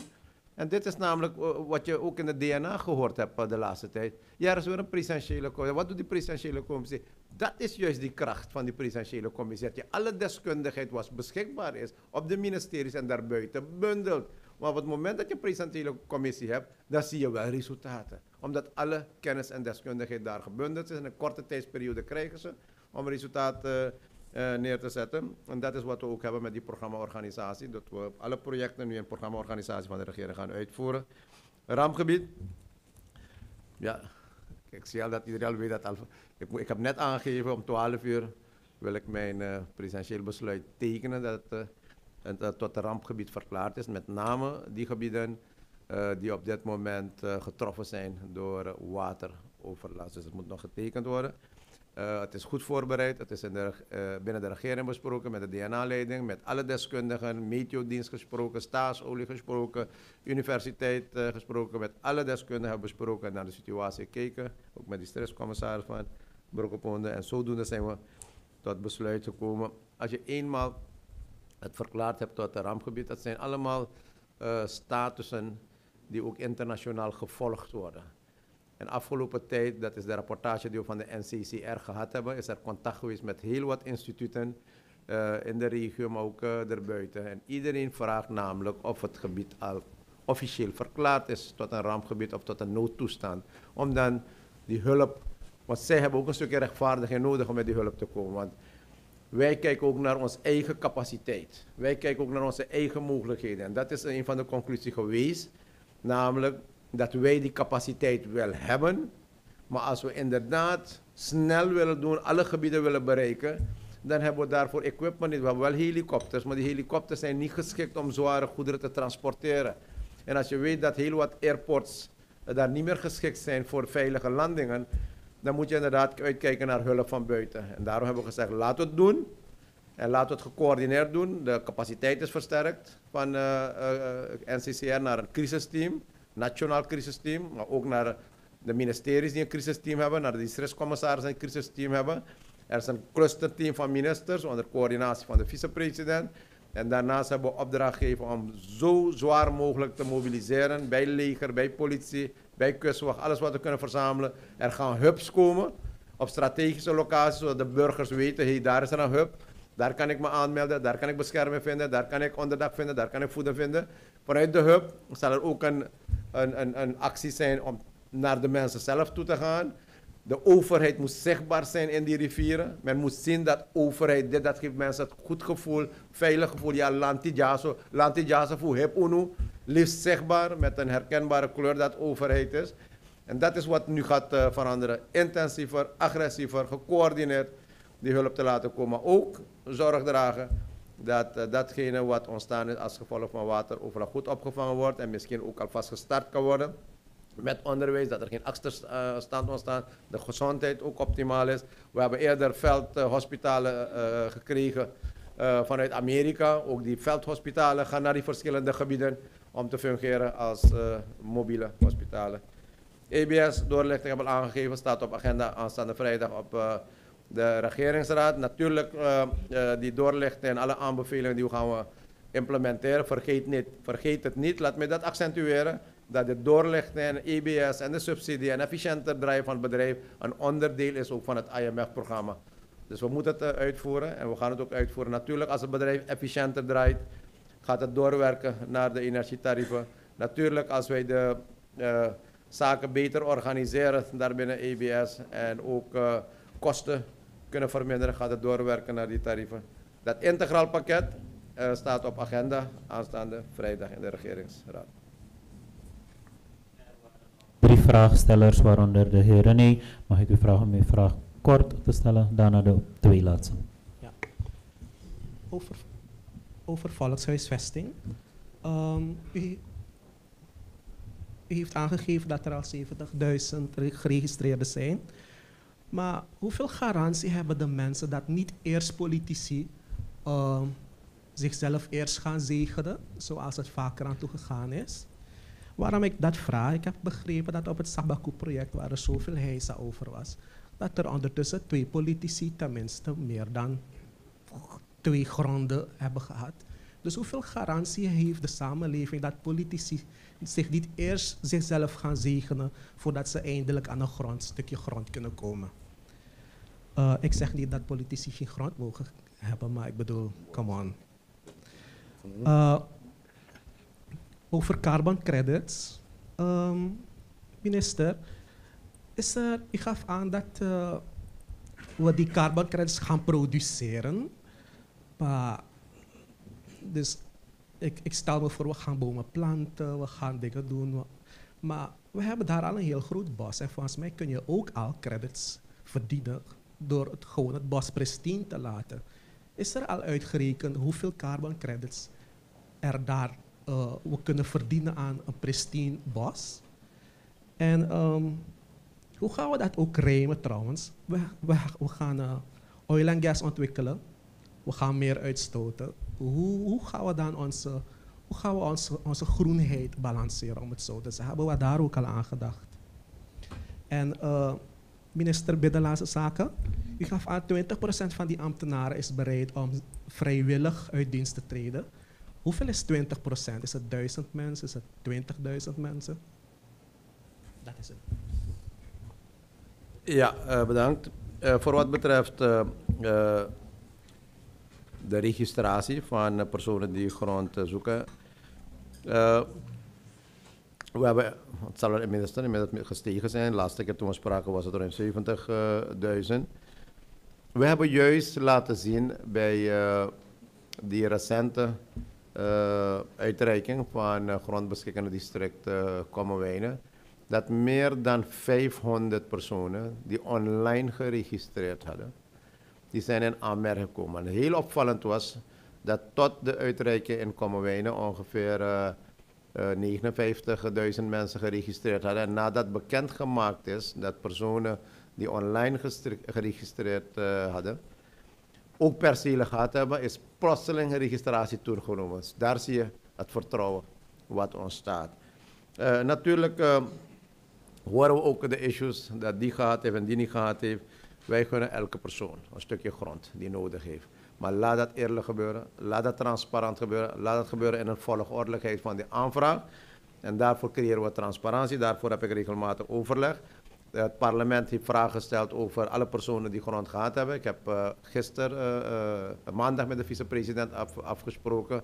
Ik denk dat ik komende week een bilateraal overleg heb met de minister. We gaan het publiceren. Alle personen die een stukje grond gehad hebben afgelopen periode, laat bekend gemaakt worden. En als, net zoals u zegt, als politici gehad hebben, dat ze niet mogen krijgen. Maar dat niet zo zijn dat als personen zo lang wachten, het niet krijgen, dat andere personen voorkeur krijgen. De minister is bezig die achterstand in te lopen. En ze heeft lijsten van alle districten. Overal ga ik. Ik ben nu bezig met haar om weer naar Nikeri te gaan. Ze is bezig met Coroni, ze is bezig met Saramaka. En ze heeft één ding, alle achterstanden inlopen. Ze heeft wat problemen, ja. Dat heeft ze allemaal uitgelegd op het ministerie. Voor wat betreft capaciteit. We hebben, we hadden enkele grondinspecteurs maar. Maar daar zo, we hebben nu een aantal grondinspecteurs vooruit. Met hoeveel is het, de minister? 15 grondinspecteurs zijn erbij gekomen om het proces van grondaanvragen en onderzoek allemaal uh, mogelijk uh, te maken. Maar nogmaals, we gaan alles doen. Er was een automatiseringsproject gaande. We, gaan de minister vragen om ons een update te geven. Als alles geautomatiseerd is, dan kan je direct zien wie wanneer aanvraagt. Dan kan je verloop gaan onderzoeken. dan kan het ook niet meer dat iemand anders dat dan gaat aanvragen. Maar nogmaals, het is een issue wat serieuze aandacht geven. We zijn er voorstander van iedereen een stukje grond krijgt op basis van transparantie, op basis van volgordelijkheid, op basis van eerlijkheid. En wij zijn begonnen. Er waren drie categorieën van uh, aanvragen uh, van al de geregistreerden. Eén is namelijk uh, bewoning en bebouwing. Tweede was tuinbouw. En derde was agrarisch. Wij gaan ervan uit dat als iemand voor tuinbouw vraagt, dan heeft hij al iets. Als iemand voor agrarisch vraagt, dan heeft hij al iets. Maar zij die een stukje terrein vragen voor bewoning en bebouwing, dat wordt ook gecheckt bij GLIS, of ze niet al eerder gehad hebben. Zodat we die groep kunnen geven die daadwerkelijk in aanmerking moet komen. En dat, wat, dat is wat uh, de komende weken gaat uh, gebeuren. En uh, nogmaals, we zijn een voorstander van transparantie, eerlijkheid en rechtvaardigheid. carbon credits kan de minister nog nader ingaan, maar laat me aangeven wat de visie is van de regering, want u stelt een heel belangrijke vraag. En dit speelt, wat u daar vraagt, uh, uh, meneer Van Staar Nieuws, speelt nu internationaal.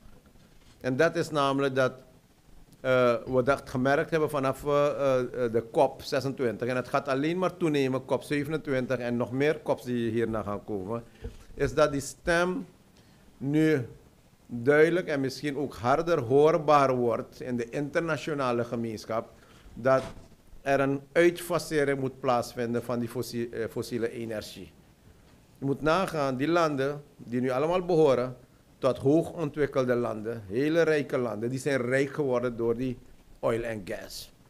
En nu die kleine arme landen, die niet door God gegeven, 15 olie nou, en zich daarmee moeten gaan ontwikkelen, hun crisis kunnen oplossen, armoede kunnen aanpakken, het volk weer naar welvaart en welzijn kunnen brengen, die moeten worden geconfronteerd. Hé, hé, hé, nu gaan we het uitfaseren. Wij hebben op alle internationale fora gezegd, en straks heb ik weer een conferentie hier van staatsolie. En straks heb ik ook die Summit of de Amerika's. Daar ga ik blijven benadrukken. Wij hebben recht op onze oil en gas. Onze grondwet zegt, de natuurlijke hulpbronnen behoren de natie toe. Maar natuurlijk gaan we bij de exploitatie rekening moeten houden met de nieuwe normen en inzichten die er zijn. Dat je het op een milieuvriendelijke wijze doet. En dat die inkomsten van oil en gas in de eerste plaats gaat naar die beheersing van die crisis. Naar creëren van diversifiëren van de economie. Want die oil en gas gaat opraken. Maar die agrarische sector gaat altijd blijven voor, de voedsel, voor voedselvoorraad in de wereld. Dus daar moet je gaan investeren met die moderne technologie van kassenteelt. Je moet zorgen voor diversifiëren van de economie, naar toerisme, naar andere ontwikkelingsgebieden, veiligheid, gezondheid on- en eh, eh, gezondheid, veiligheid en onderwijs. Maar tegelijkertijd moet je gaan sparen voor die volgende generatie. Unam yamamoni no no. Co-spaar yatra generatie. En hebben bijstand ingeroepen van eh, de deskundigen van eh, eh, Noorwegen. Noorwegen heeft een model daar ontwikkeld waarbij ze nu 700 miljard, Wartjeboom, 700 miljard Amerikaanse dollar gespaard hebben in hun sovereign wealth fund uit die oil en gas. En waarbij staat ingeroepen, de oliemaatschappij is onlangs hier geweest, twee weken geleden. Eh, hoe heet het, eh, minister van Okinor? Eh, met u gesproken hebben en zij zijn bereid om ons bij te staan. En ik heb ook met de ambassadeur die hier recentelijk is geweest van Noorwegen gevraagd om ons bij te staan om dit beleid te ontwikkelen duurzaam. Maar natuurlijk praat ook met de oliemaatschappijen, die ook zeggen namelijk dat met de moderne technologie die uitstoot verminderd kan worden. Om maar een voorbeeld te geven, als daar olie eh, geëxploiteerd wordt en met die olie wordt dan brandstof voorzien van, voor auto's, dan is bij de exploitatie hier bijvoorbeeld 10% aan uitstoot en bij die auto's daar is het 90% aan uitstoot. Dan moet je hier met moderne technologie komen, dat er minder uitstoot is. Kortom, de oplossing gaat zijn milieuvriendelijk. Je moet je houden aan internationale verdragen en regels. De oplossing zal zijn in die moderne technologie. Daarin moet er meer geïnvesteerd worden. Maar natuurlijk moeten die grote landen ervoor zorg dragen dat ze minder gaan uitstoten. En laten ze het voorbeeld nemen van Suriname. Dat ze ook een keertje carbonneutraal worden. En als het kan ook een carbonnegatief uh, kunnen worden. Minister Rom, voor die aanvullende informatie. Ja, dank u wel, president. Uh, de vraag is gesteld. Uh, Suriname heeft um, pristine bos. En um, um, hoe rijmt dat zich met het produceren van carbonkredieten? De simpelste manier om, om carbonkredieten te maken, om het maar zo te zeggen, is, is, is om een stuk gebied bijvoorbeeld, om, die, um, om het bos te behouden als je bos hebt. Dat is eigenlijk waar u naartoe wil, wanneer u zegt dat we bos hebben, primair bos, en dat we dat bos moeten behouden, omdat het bos in staat zou zijn om CO2 vast te houden.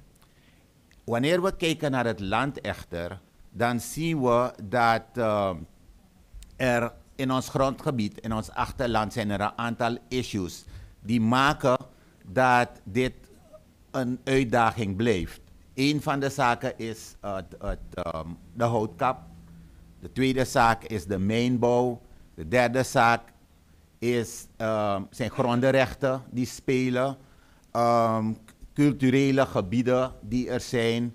En dat zijn allemaal zaken die kunnen voorkomen of die kunnen een, een drempel kunnen zijn voor het, uh, wat ik noem, produceren van uh, carbonkredieten. Dus wanneer we zeggen carbonkredieten moeten geproduceerd worden, wil dat nog niet zeggen dat het ergens in een fabriek wordt gedaan of zo, maar dat er voorrandvoorwaarden zijn om te kunnen praten over carbonkredieten.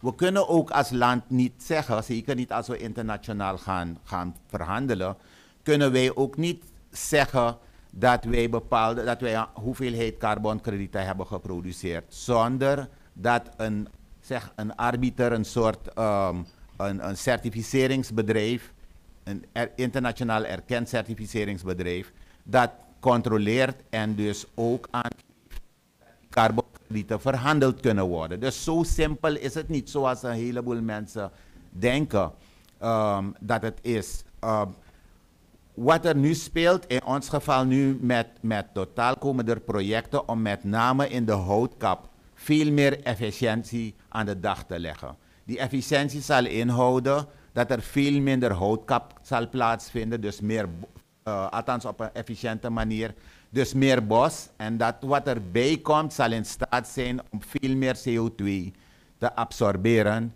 En het verschil in wat er was en wat er na de projecten komt, dat verschil kan verhandeld worden. Niet wat er al is. En daarom zeg ik steeds dat het niet zo is dat we een voorraad hebben aan carbonkredieten.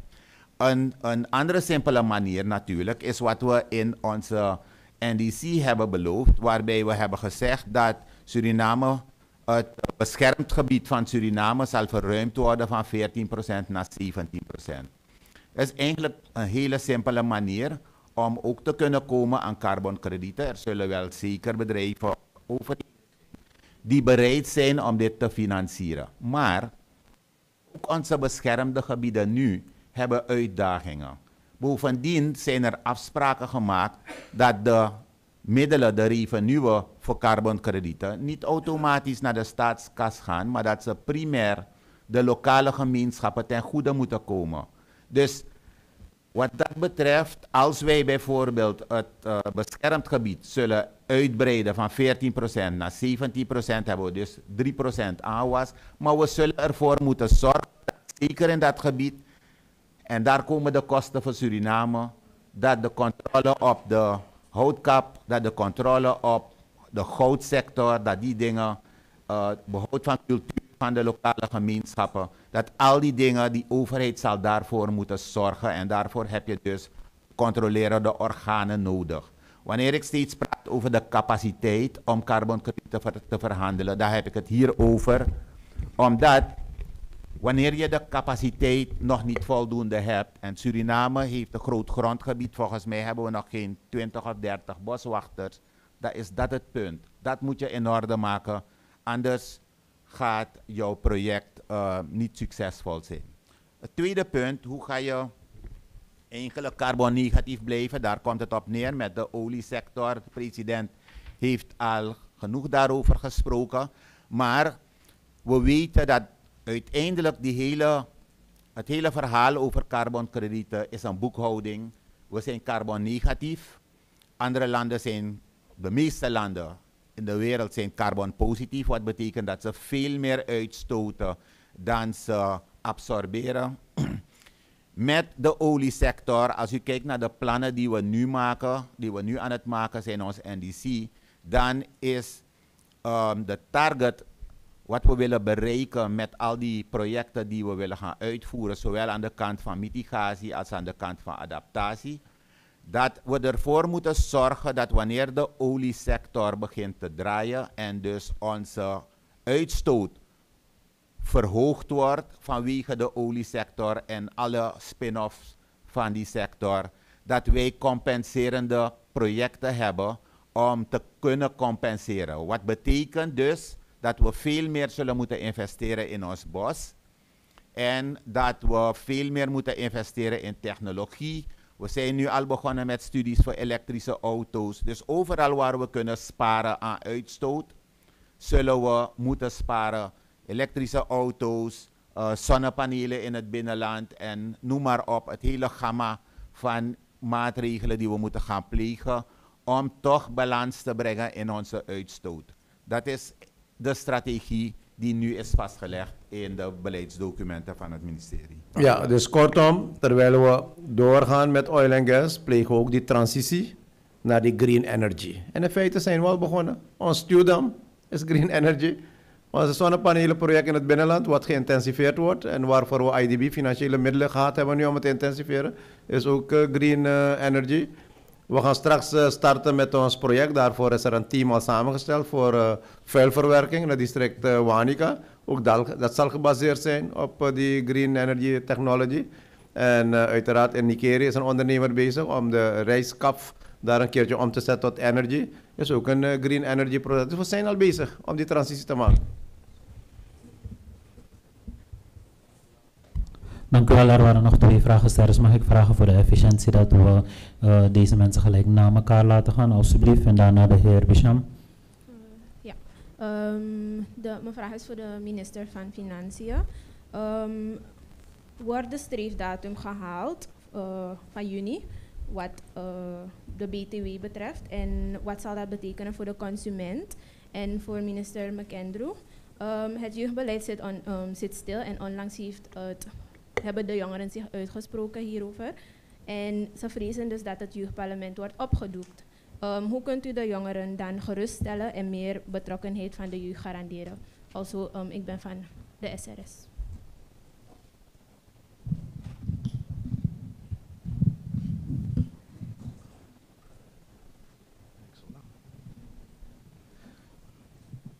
Goedemorgen, president, regering, vicepresident, welkom. Is weer na lange tijd weer. Um, twee jaren verkiezingen, daarvoor zijn we hier. President, in het meerjarenontwikkelingsplan, pagina 12 en 13, praat u over normen en waarden binnen het beleid. U heeft in uw presentatie daarnet enkele kernwoorden aangehaald. Negativiteit, polarisatie, discrepantie en ook normen en waarden. President, u doet een oproep op de samenleving om normen en waarden hoog te houden. Maar intern merkt u wel dat het ook vanuit die kant wordt gestuurd richting die samenwerking. Ik heb het concreet over, ik moet niet zeggen mascottes, maar vooraanstaanden van de VHP en de ABOP, die met elkaar omgaan op een manier dat zeer normaf af, ja, normafwijkend is. Maar u en de vicepresident staan wel steeds aan die samenleving te vertellen, alles is koek en ei. Dat is ook een discrepantie, heer president. Het staat in die MOP, pagina 12 en 13. Uh, pagina 105 van uw meerjarenontwikkelingsprogramma praat u over ontwatering en irrigatie. U heeft ook de vraag gesteld daarnet, waar moeten we beginnen? President, die hoek van de Keizerstraat en van het Sigastraat, ik weet dat het dat probleem duurzaam opgelost zal moeten worden, maar er is een zeer gevaarlijke situatie op dit moment nu daar gaande. Het is een kwestie van tijd dat bromfietsers en fietsers ongeluk gaan krijgen. Er zijn diepe kuilen en er zit water in. En mensen en schoolkinderen gaan elke dag daar langs. Financiering van het ontwikkelingsplan. Uit de documenten bleek dus 1,3 miljard US dollar minister Financiën, zal het MOP ons kosten. Maar tegelijkertijd blijkt ook dat 41,4% van het MOP betaald zal worden door externe financiering. Hoe efficiënt is, het, is de poging om het MOP te willen uitvoeren tegen de achtergrond dat er voor dit jaar ook een 6 miljard SRD aan externe financiering gezocht zal worden? En is die 700 miljoen US dollar van IMF opgenomen in de financiering van het MOP. Ehm, ik, rond af. Kwestie Tigri. Uh, president, ik heb begrepen, misschien dat mijn bronnen jokken en me fake news vertellen, dat Guyana in feite al ready is om te praten over Tigri. Het is de Surinaamse partij die de onderhandelingen en de gesprekken ophoudt en achterhoudt, kennelijk volgens mijn bron, omdat Suriname er niet zo gunstig voor staat. Is dit fake news, heer president? Staan we er werkelijk uh, niet gunstig voor? Of staan we er geweldig voor? Ik heb andere informatie. Versterking van de democratie, constitutionele rechten van burgers. Um, compensatie rechtszekerheid, vergoedingen voor mensen van wie de constitutionele rechten vertrapt worden en de, omdat de democratie niet nageleefd wordt. Ik ben blij dat de voorzitter van de Nationale Assemblée hier is. Wordt het geen tijd om niet alleen wetten te maken om politieke ambtsdragers steeds te beschermen? Wanneer krijgt die samenleving ook een kans? Laatste vraag, heer Elfer, dankjewel, sorry. Um, hm. Wanneer komt er een formele bijeenkomst, president, waar we kunnen praten over het kiesstelsel? In het eerste jaar van de regering, kabinet, uh, van het kabinet uh, Santoki Brunswijk, zijn er voorstellen gedaan aan de coalitietop. Maar na dit hebben we niets meer gehoord. Wanneer kunnen we hierover praten? Dank u wel. Thank you, sir. Wel, president, dan u het woord. Ja. Um, bedankt. Even de uh, minister OW als je alvast kan voorbereiden uh, van de Singastraat. Uh, we hebben gisteren nog een meeting gehad uh, over zulke onderwerpen. dus wat dat betreft zijn er heel wat plannen om samen met de weegautoriteit in te grijpen naar die, die structuur die op dit moment een dreiging vormt. De minister kan daarvoor wat nadere informatie geven. Even aan formele zijde uh, van uh, MOP, want ik zie dat u veel wat zaken uit de uh, MOP haalt. en dan van de materiële zijde, inhoud. En u haalt ook een politiek aspect, dus politieke zijde. De formele zijde van MOP is gebaseerd op onze grondwet. De grondwet eist namelijk dat je een meerjaren ontwikkelingsprogramma moet hebben. En wij hebben het gedaan voor vier jaar. En het loopt door tot 2026. Om die andere regering, en dat zal ook onze regering zijn, om weer een plan te laten ontwikkelen. Conform de grondwet. Maar u moet gewoon onze beleidsdocumenten in tijdlijn gaan afzetten. En op basis daarvan dan ook die conclusie moeten trekken dat het beleidsdocumenten zijn die overlapping zijn. Als we een regeringsverklaring hebben voor vijf jaar, dan is het in die regeringsverklaring alles wat we beschreven hebben in herstelplan voor twee jaar, begroting voor één jaar, ons IMF-programma voor drie jaar en als MOP voor vier jaar. Zo moet u zien dat het een programma is, niet separaat van elkaar, niet afzonderlijk van elkaar, maar geïntegreerd. Want een deel van MOP, dat wordt nu al uitgevoerd in herstelprogramma, in ons IMF-programma. Met onze begroting die recentelijk is goedgekeurd, uh, 2022 in het uh, uh, parlement. Wij moeten alles realiseren. Daarom hebben we een programma organisatie. Om het ook projectmatig te gaan uitvoeren. Voor wat betreft de financiering moet u rekening houden met de volgende financieringsbronnen. Eén is je eigen besparing. Ja, deze regering. Misschien kan je daar deze regering een 10 punt geven op die vraag van uh, Weentellig. We sparen. Prudent beleid. Strak waardoor we met onze eigen besparende samenleving terug kunnen geven. Tweede financieringsbron is namelijk wat wij krijgen vanuit uh, de internationale uh, financiële instellingen. Dat is IMF, dat is IDB, dat is World Bank, dat is Caribbean Development Bank.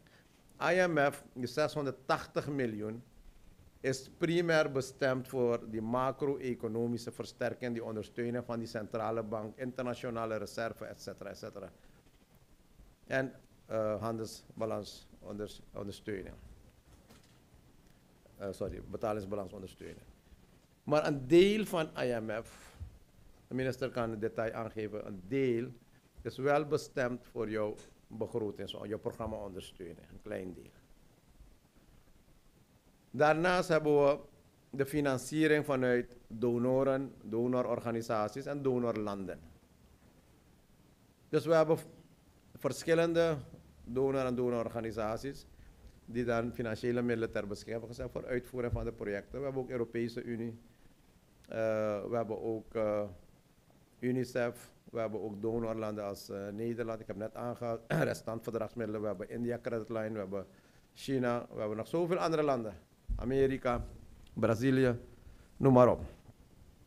Dat is ons financieringsbron. We mogen niet lenen van IMF. Onthoud dat. We mogen niet lenen. Met uitzondering van de internationale financiële instituten, dat is IMF, IDB, World Bank en Caribbean Development Bank. Dus commerciële leningen, die, hebben we, die mogen we niet doen. We mogen ook geen staatsgarantie geven. Dus kan die rekenen, we doen een foefje, laten een paracetaal lenen en dan ga jij staatsgarant staan. Ook dat mag niet.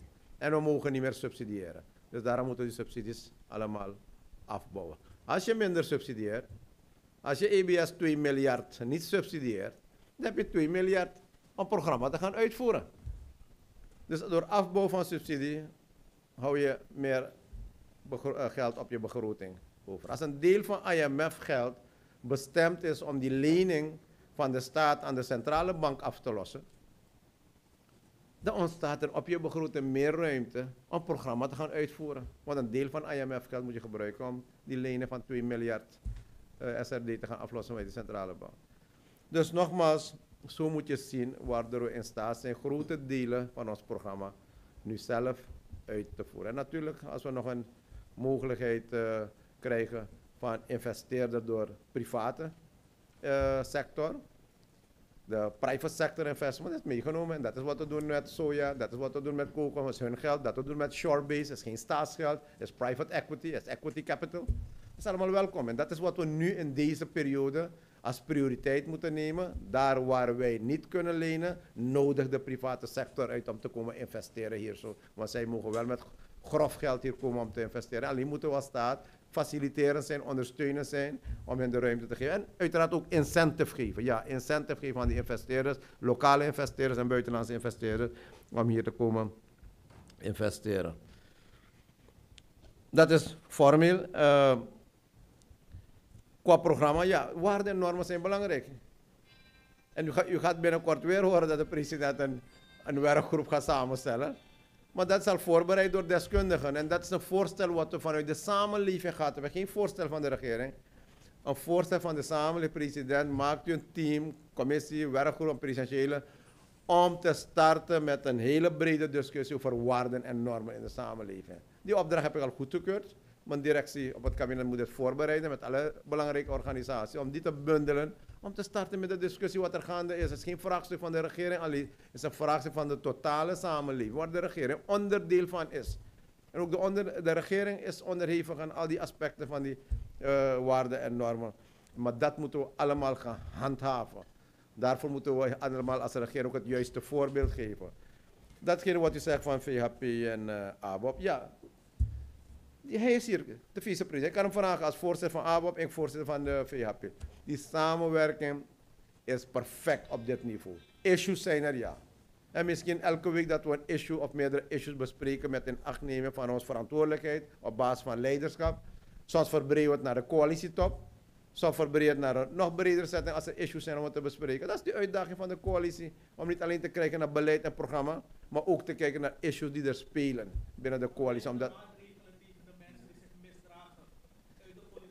Oké, okay, ik kom, ik kom daarop uh, nog. Uh, als die achtste vraagt, dan kom je antwoord nog. Ah.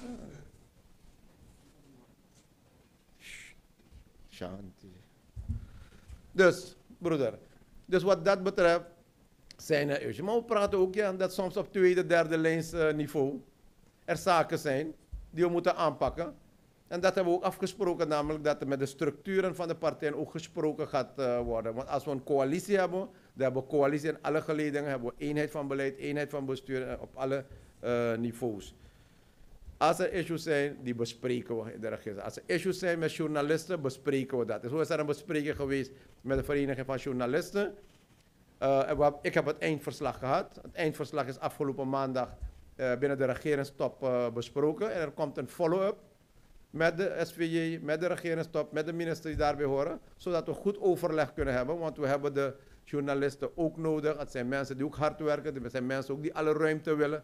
Dat zijn mensen die ook met iedereen willen praten. Dat staat op agenda. Dat we alles nu goed gaan bespreken. Met uh, uh, goede afspraken, maar ook uh, goede follow-up zonder emotie.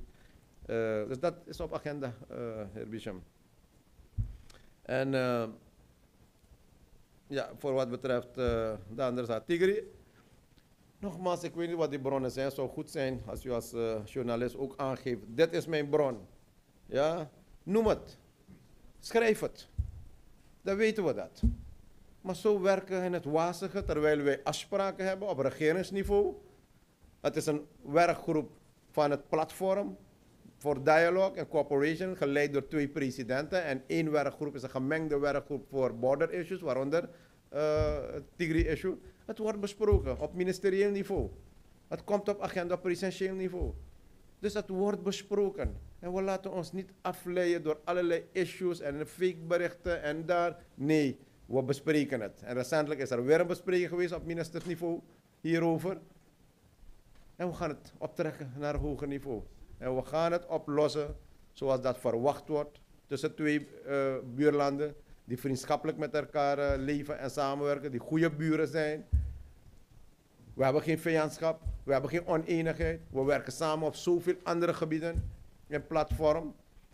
En zoals er bij andere gebieden resultaten komen, zal er ook resultaat zijn ook op dit uh, gebied. Dus nogmaals, we lossen het uh, vraagstuk binnen het forum wat hiervoor gecreëerd is, met inzet van leiderschap op alle niveaus. En uiteindelijk zal het op het niveau van de presidenten zijn. Dan zullen we ook kijken wat de inzichten daaromtrent zijn. Kiesstelsel is op agenda van de regeringstop. Op de laatste coalitietop, dat ik me niet vergis, dat twee weken geleden geweest, is het weer besproken. Er zijn voorstellen aangedragen uh, door uh, een deskundige die we gevraagd hebben om alles uit te werken. En de coalitietop heeft besloten, namelijk dat de vier politieke partijen de voorstellen gaan bespreken. En binnen een maand moeten de voorstellen komen. En dan zullen we dat weer bespreken in de coalitietop. En als de coalitiepartners zeggen, ja, dit is wat allemaal gewijzigd moet worden, dan is het de opdracht om de juristen aan het werk uh, te zetten. En dan gaat het richting uh, parlement. Dus het staat op agenda. Dank u wel, president. Daarmee zijn we gekomen aan het einde van deze persconferentie. En er was minister Owe zo even.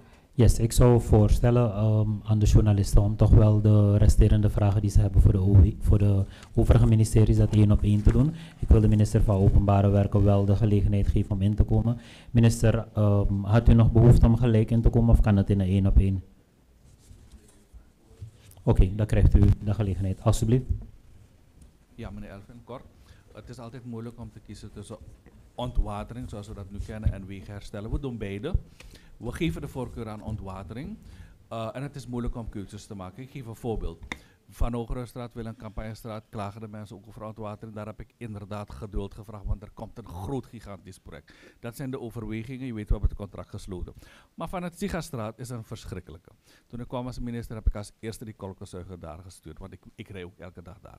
En het heeft geholpen, maar nu is het ernstig. Ben ik helemaal eens. Maar ga ik je wat leuks vertellen. Kijk, wat is de realiteit? Ik heb het ook gepresenteerd in het parlement. 80 miljoen op de begroting van OW. 60 miljoen is aflossen schulden wateroverlast. heb ik 20 miljoen. Dit project heb ik besloten, wordt duurzaam aangepakt. Dat is het voor eens en altijd opgelost. Maar precies dat project kost 20 miljoen SRD. Want het gaat om nieuwe riolen aanleggen naar het afvoerkanaal. En natuurlijk moet het asfaltdek ook aangepakt worden. Je kan minimaal 20 miljoen niet goedkoper dan ben ik voor de rest van het jaar vrij. Ga ik vingers draaien. Het zijn moeilijke overwegingen, maar feit is, concreet, het besluit is dat dit project duurzaam aangepakt wordt. De aanbesteding wordt binnenkort gehouden. En ondertussen gaan we wel die gaten die er nu zijn, wel onderhouden. Dus die geruststelling kan ik geven, alsjeblieft. Oké, okay, goedemorgen nog net. Laat me voor wat betreft het jeugdbeleid dit ervan zeggen. Uh, het uh, Nationaal Jeugdparlement is geëvalueerd geworden. Dat heb ik in DNA ook aangegeven. Ik heb toen ook aangegeven dat na de begrotingsbehandeling ik het uh, evaluatierapport zal bekijken. Ik heb maandag, uh, afgelopen maandag nog een uh, ontmoeting gehad met de voorzitter van de evaluatiecommissie om haar views, gezichtspunten voor wat betreft de evaluatie te vernemen. En we gaan dan door met andere groepen, groeperingen te horen wat betreft de uitkomst van de evaluatie Ehm, er is nooit gezegd dat we geen voorstander zijn van jongerenparticipatie. Integendeel, is steeds gestrest, ook in de Nationale Assemblée, dat we zo snel als mogelijk willen gaan naar verkiezingen. Maar dat we toch wel eh, ons goed moeten laten informeren en goede besluiten moeten nemen voor wat betreft ontwikkelingsgerichte en resultaatgerichte jeugdparticipatie. En daar gaan we zonder meer voor. Dus eh, we zullen binnenkort de samenleving omstandig informeren over wat is uh, uitgekomen voor wat betreft de evaluatie van het Nationaal Jeugdparlement. Dank u wel. Daarmee zijn we gekomen aan het einde van deze persconferentie. Mag ik u vragen om op te staan en de president de gelegenheid te geven de zaal te verlaten.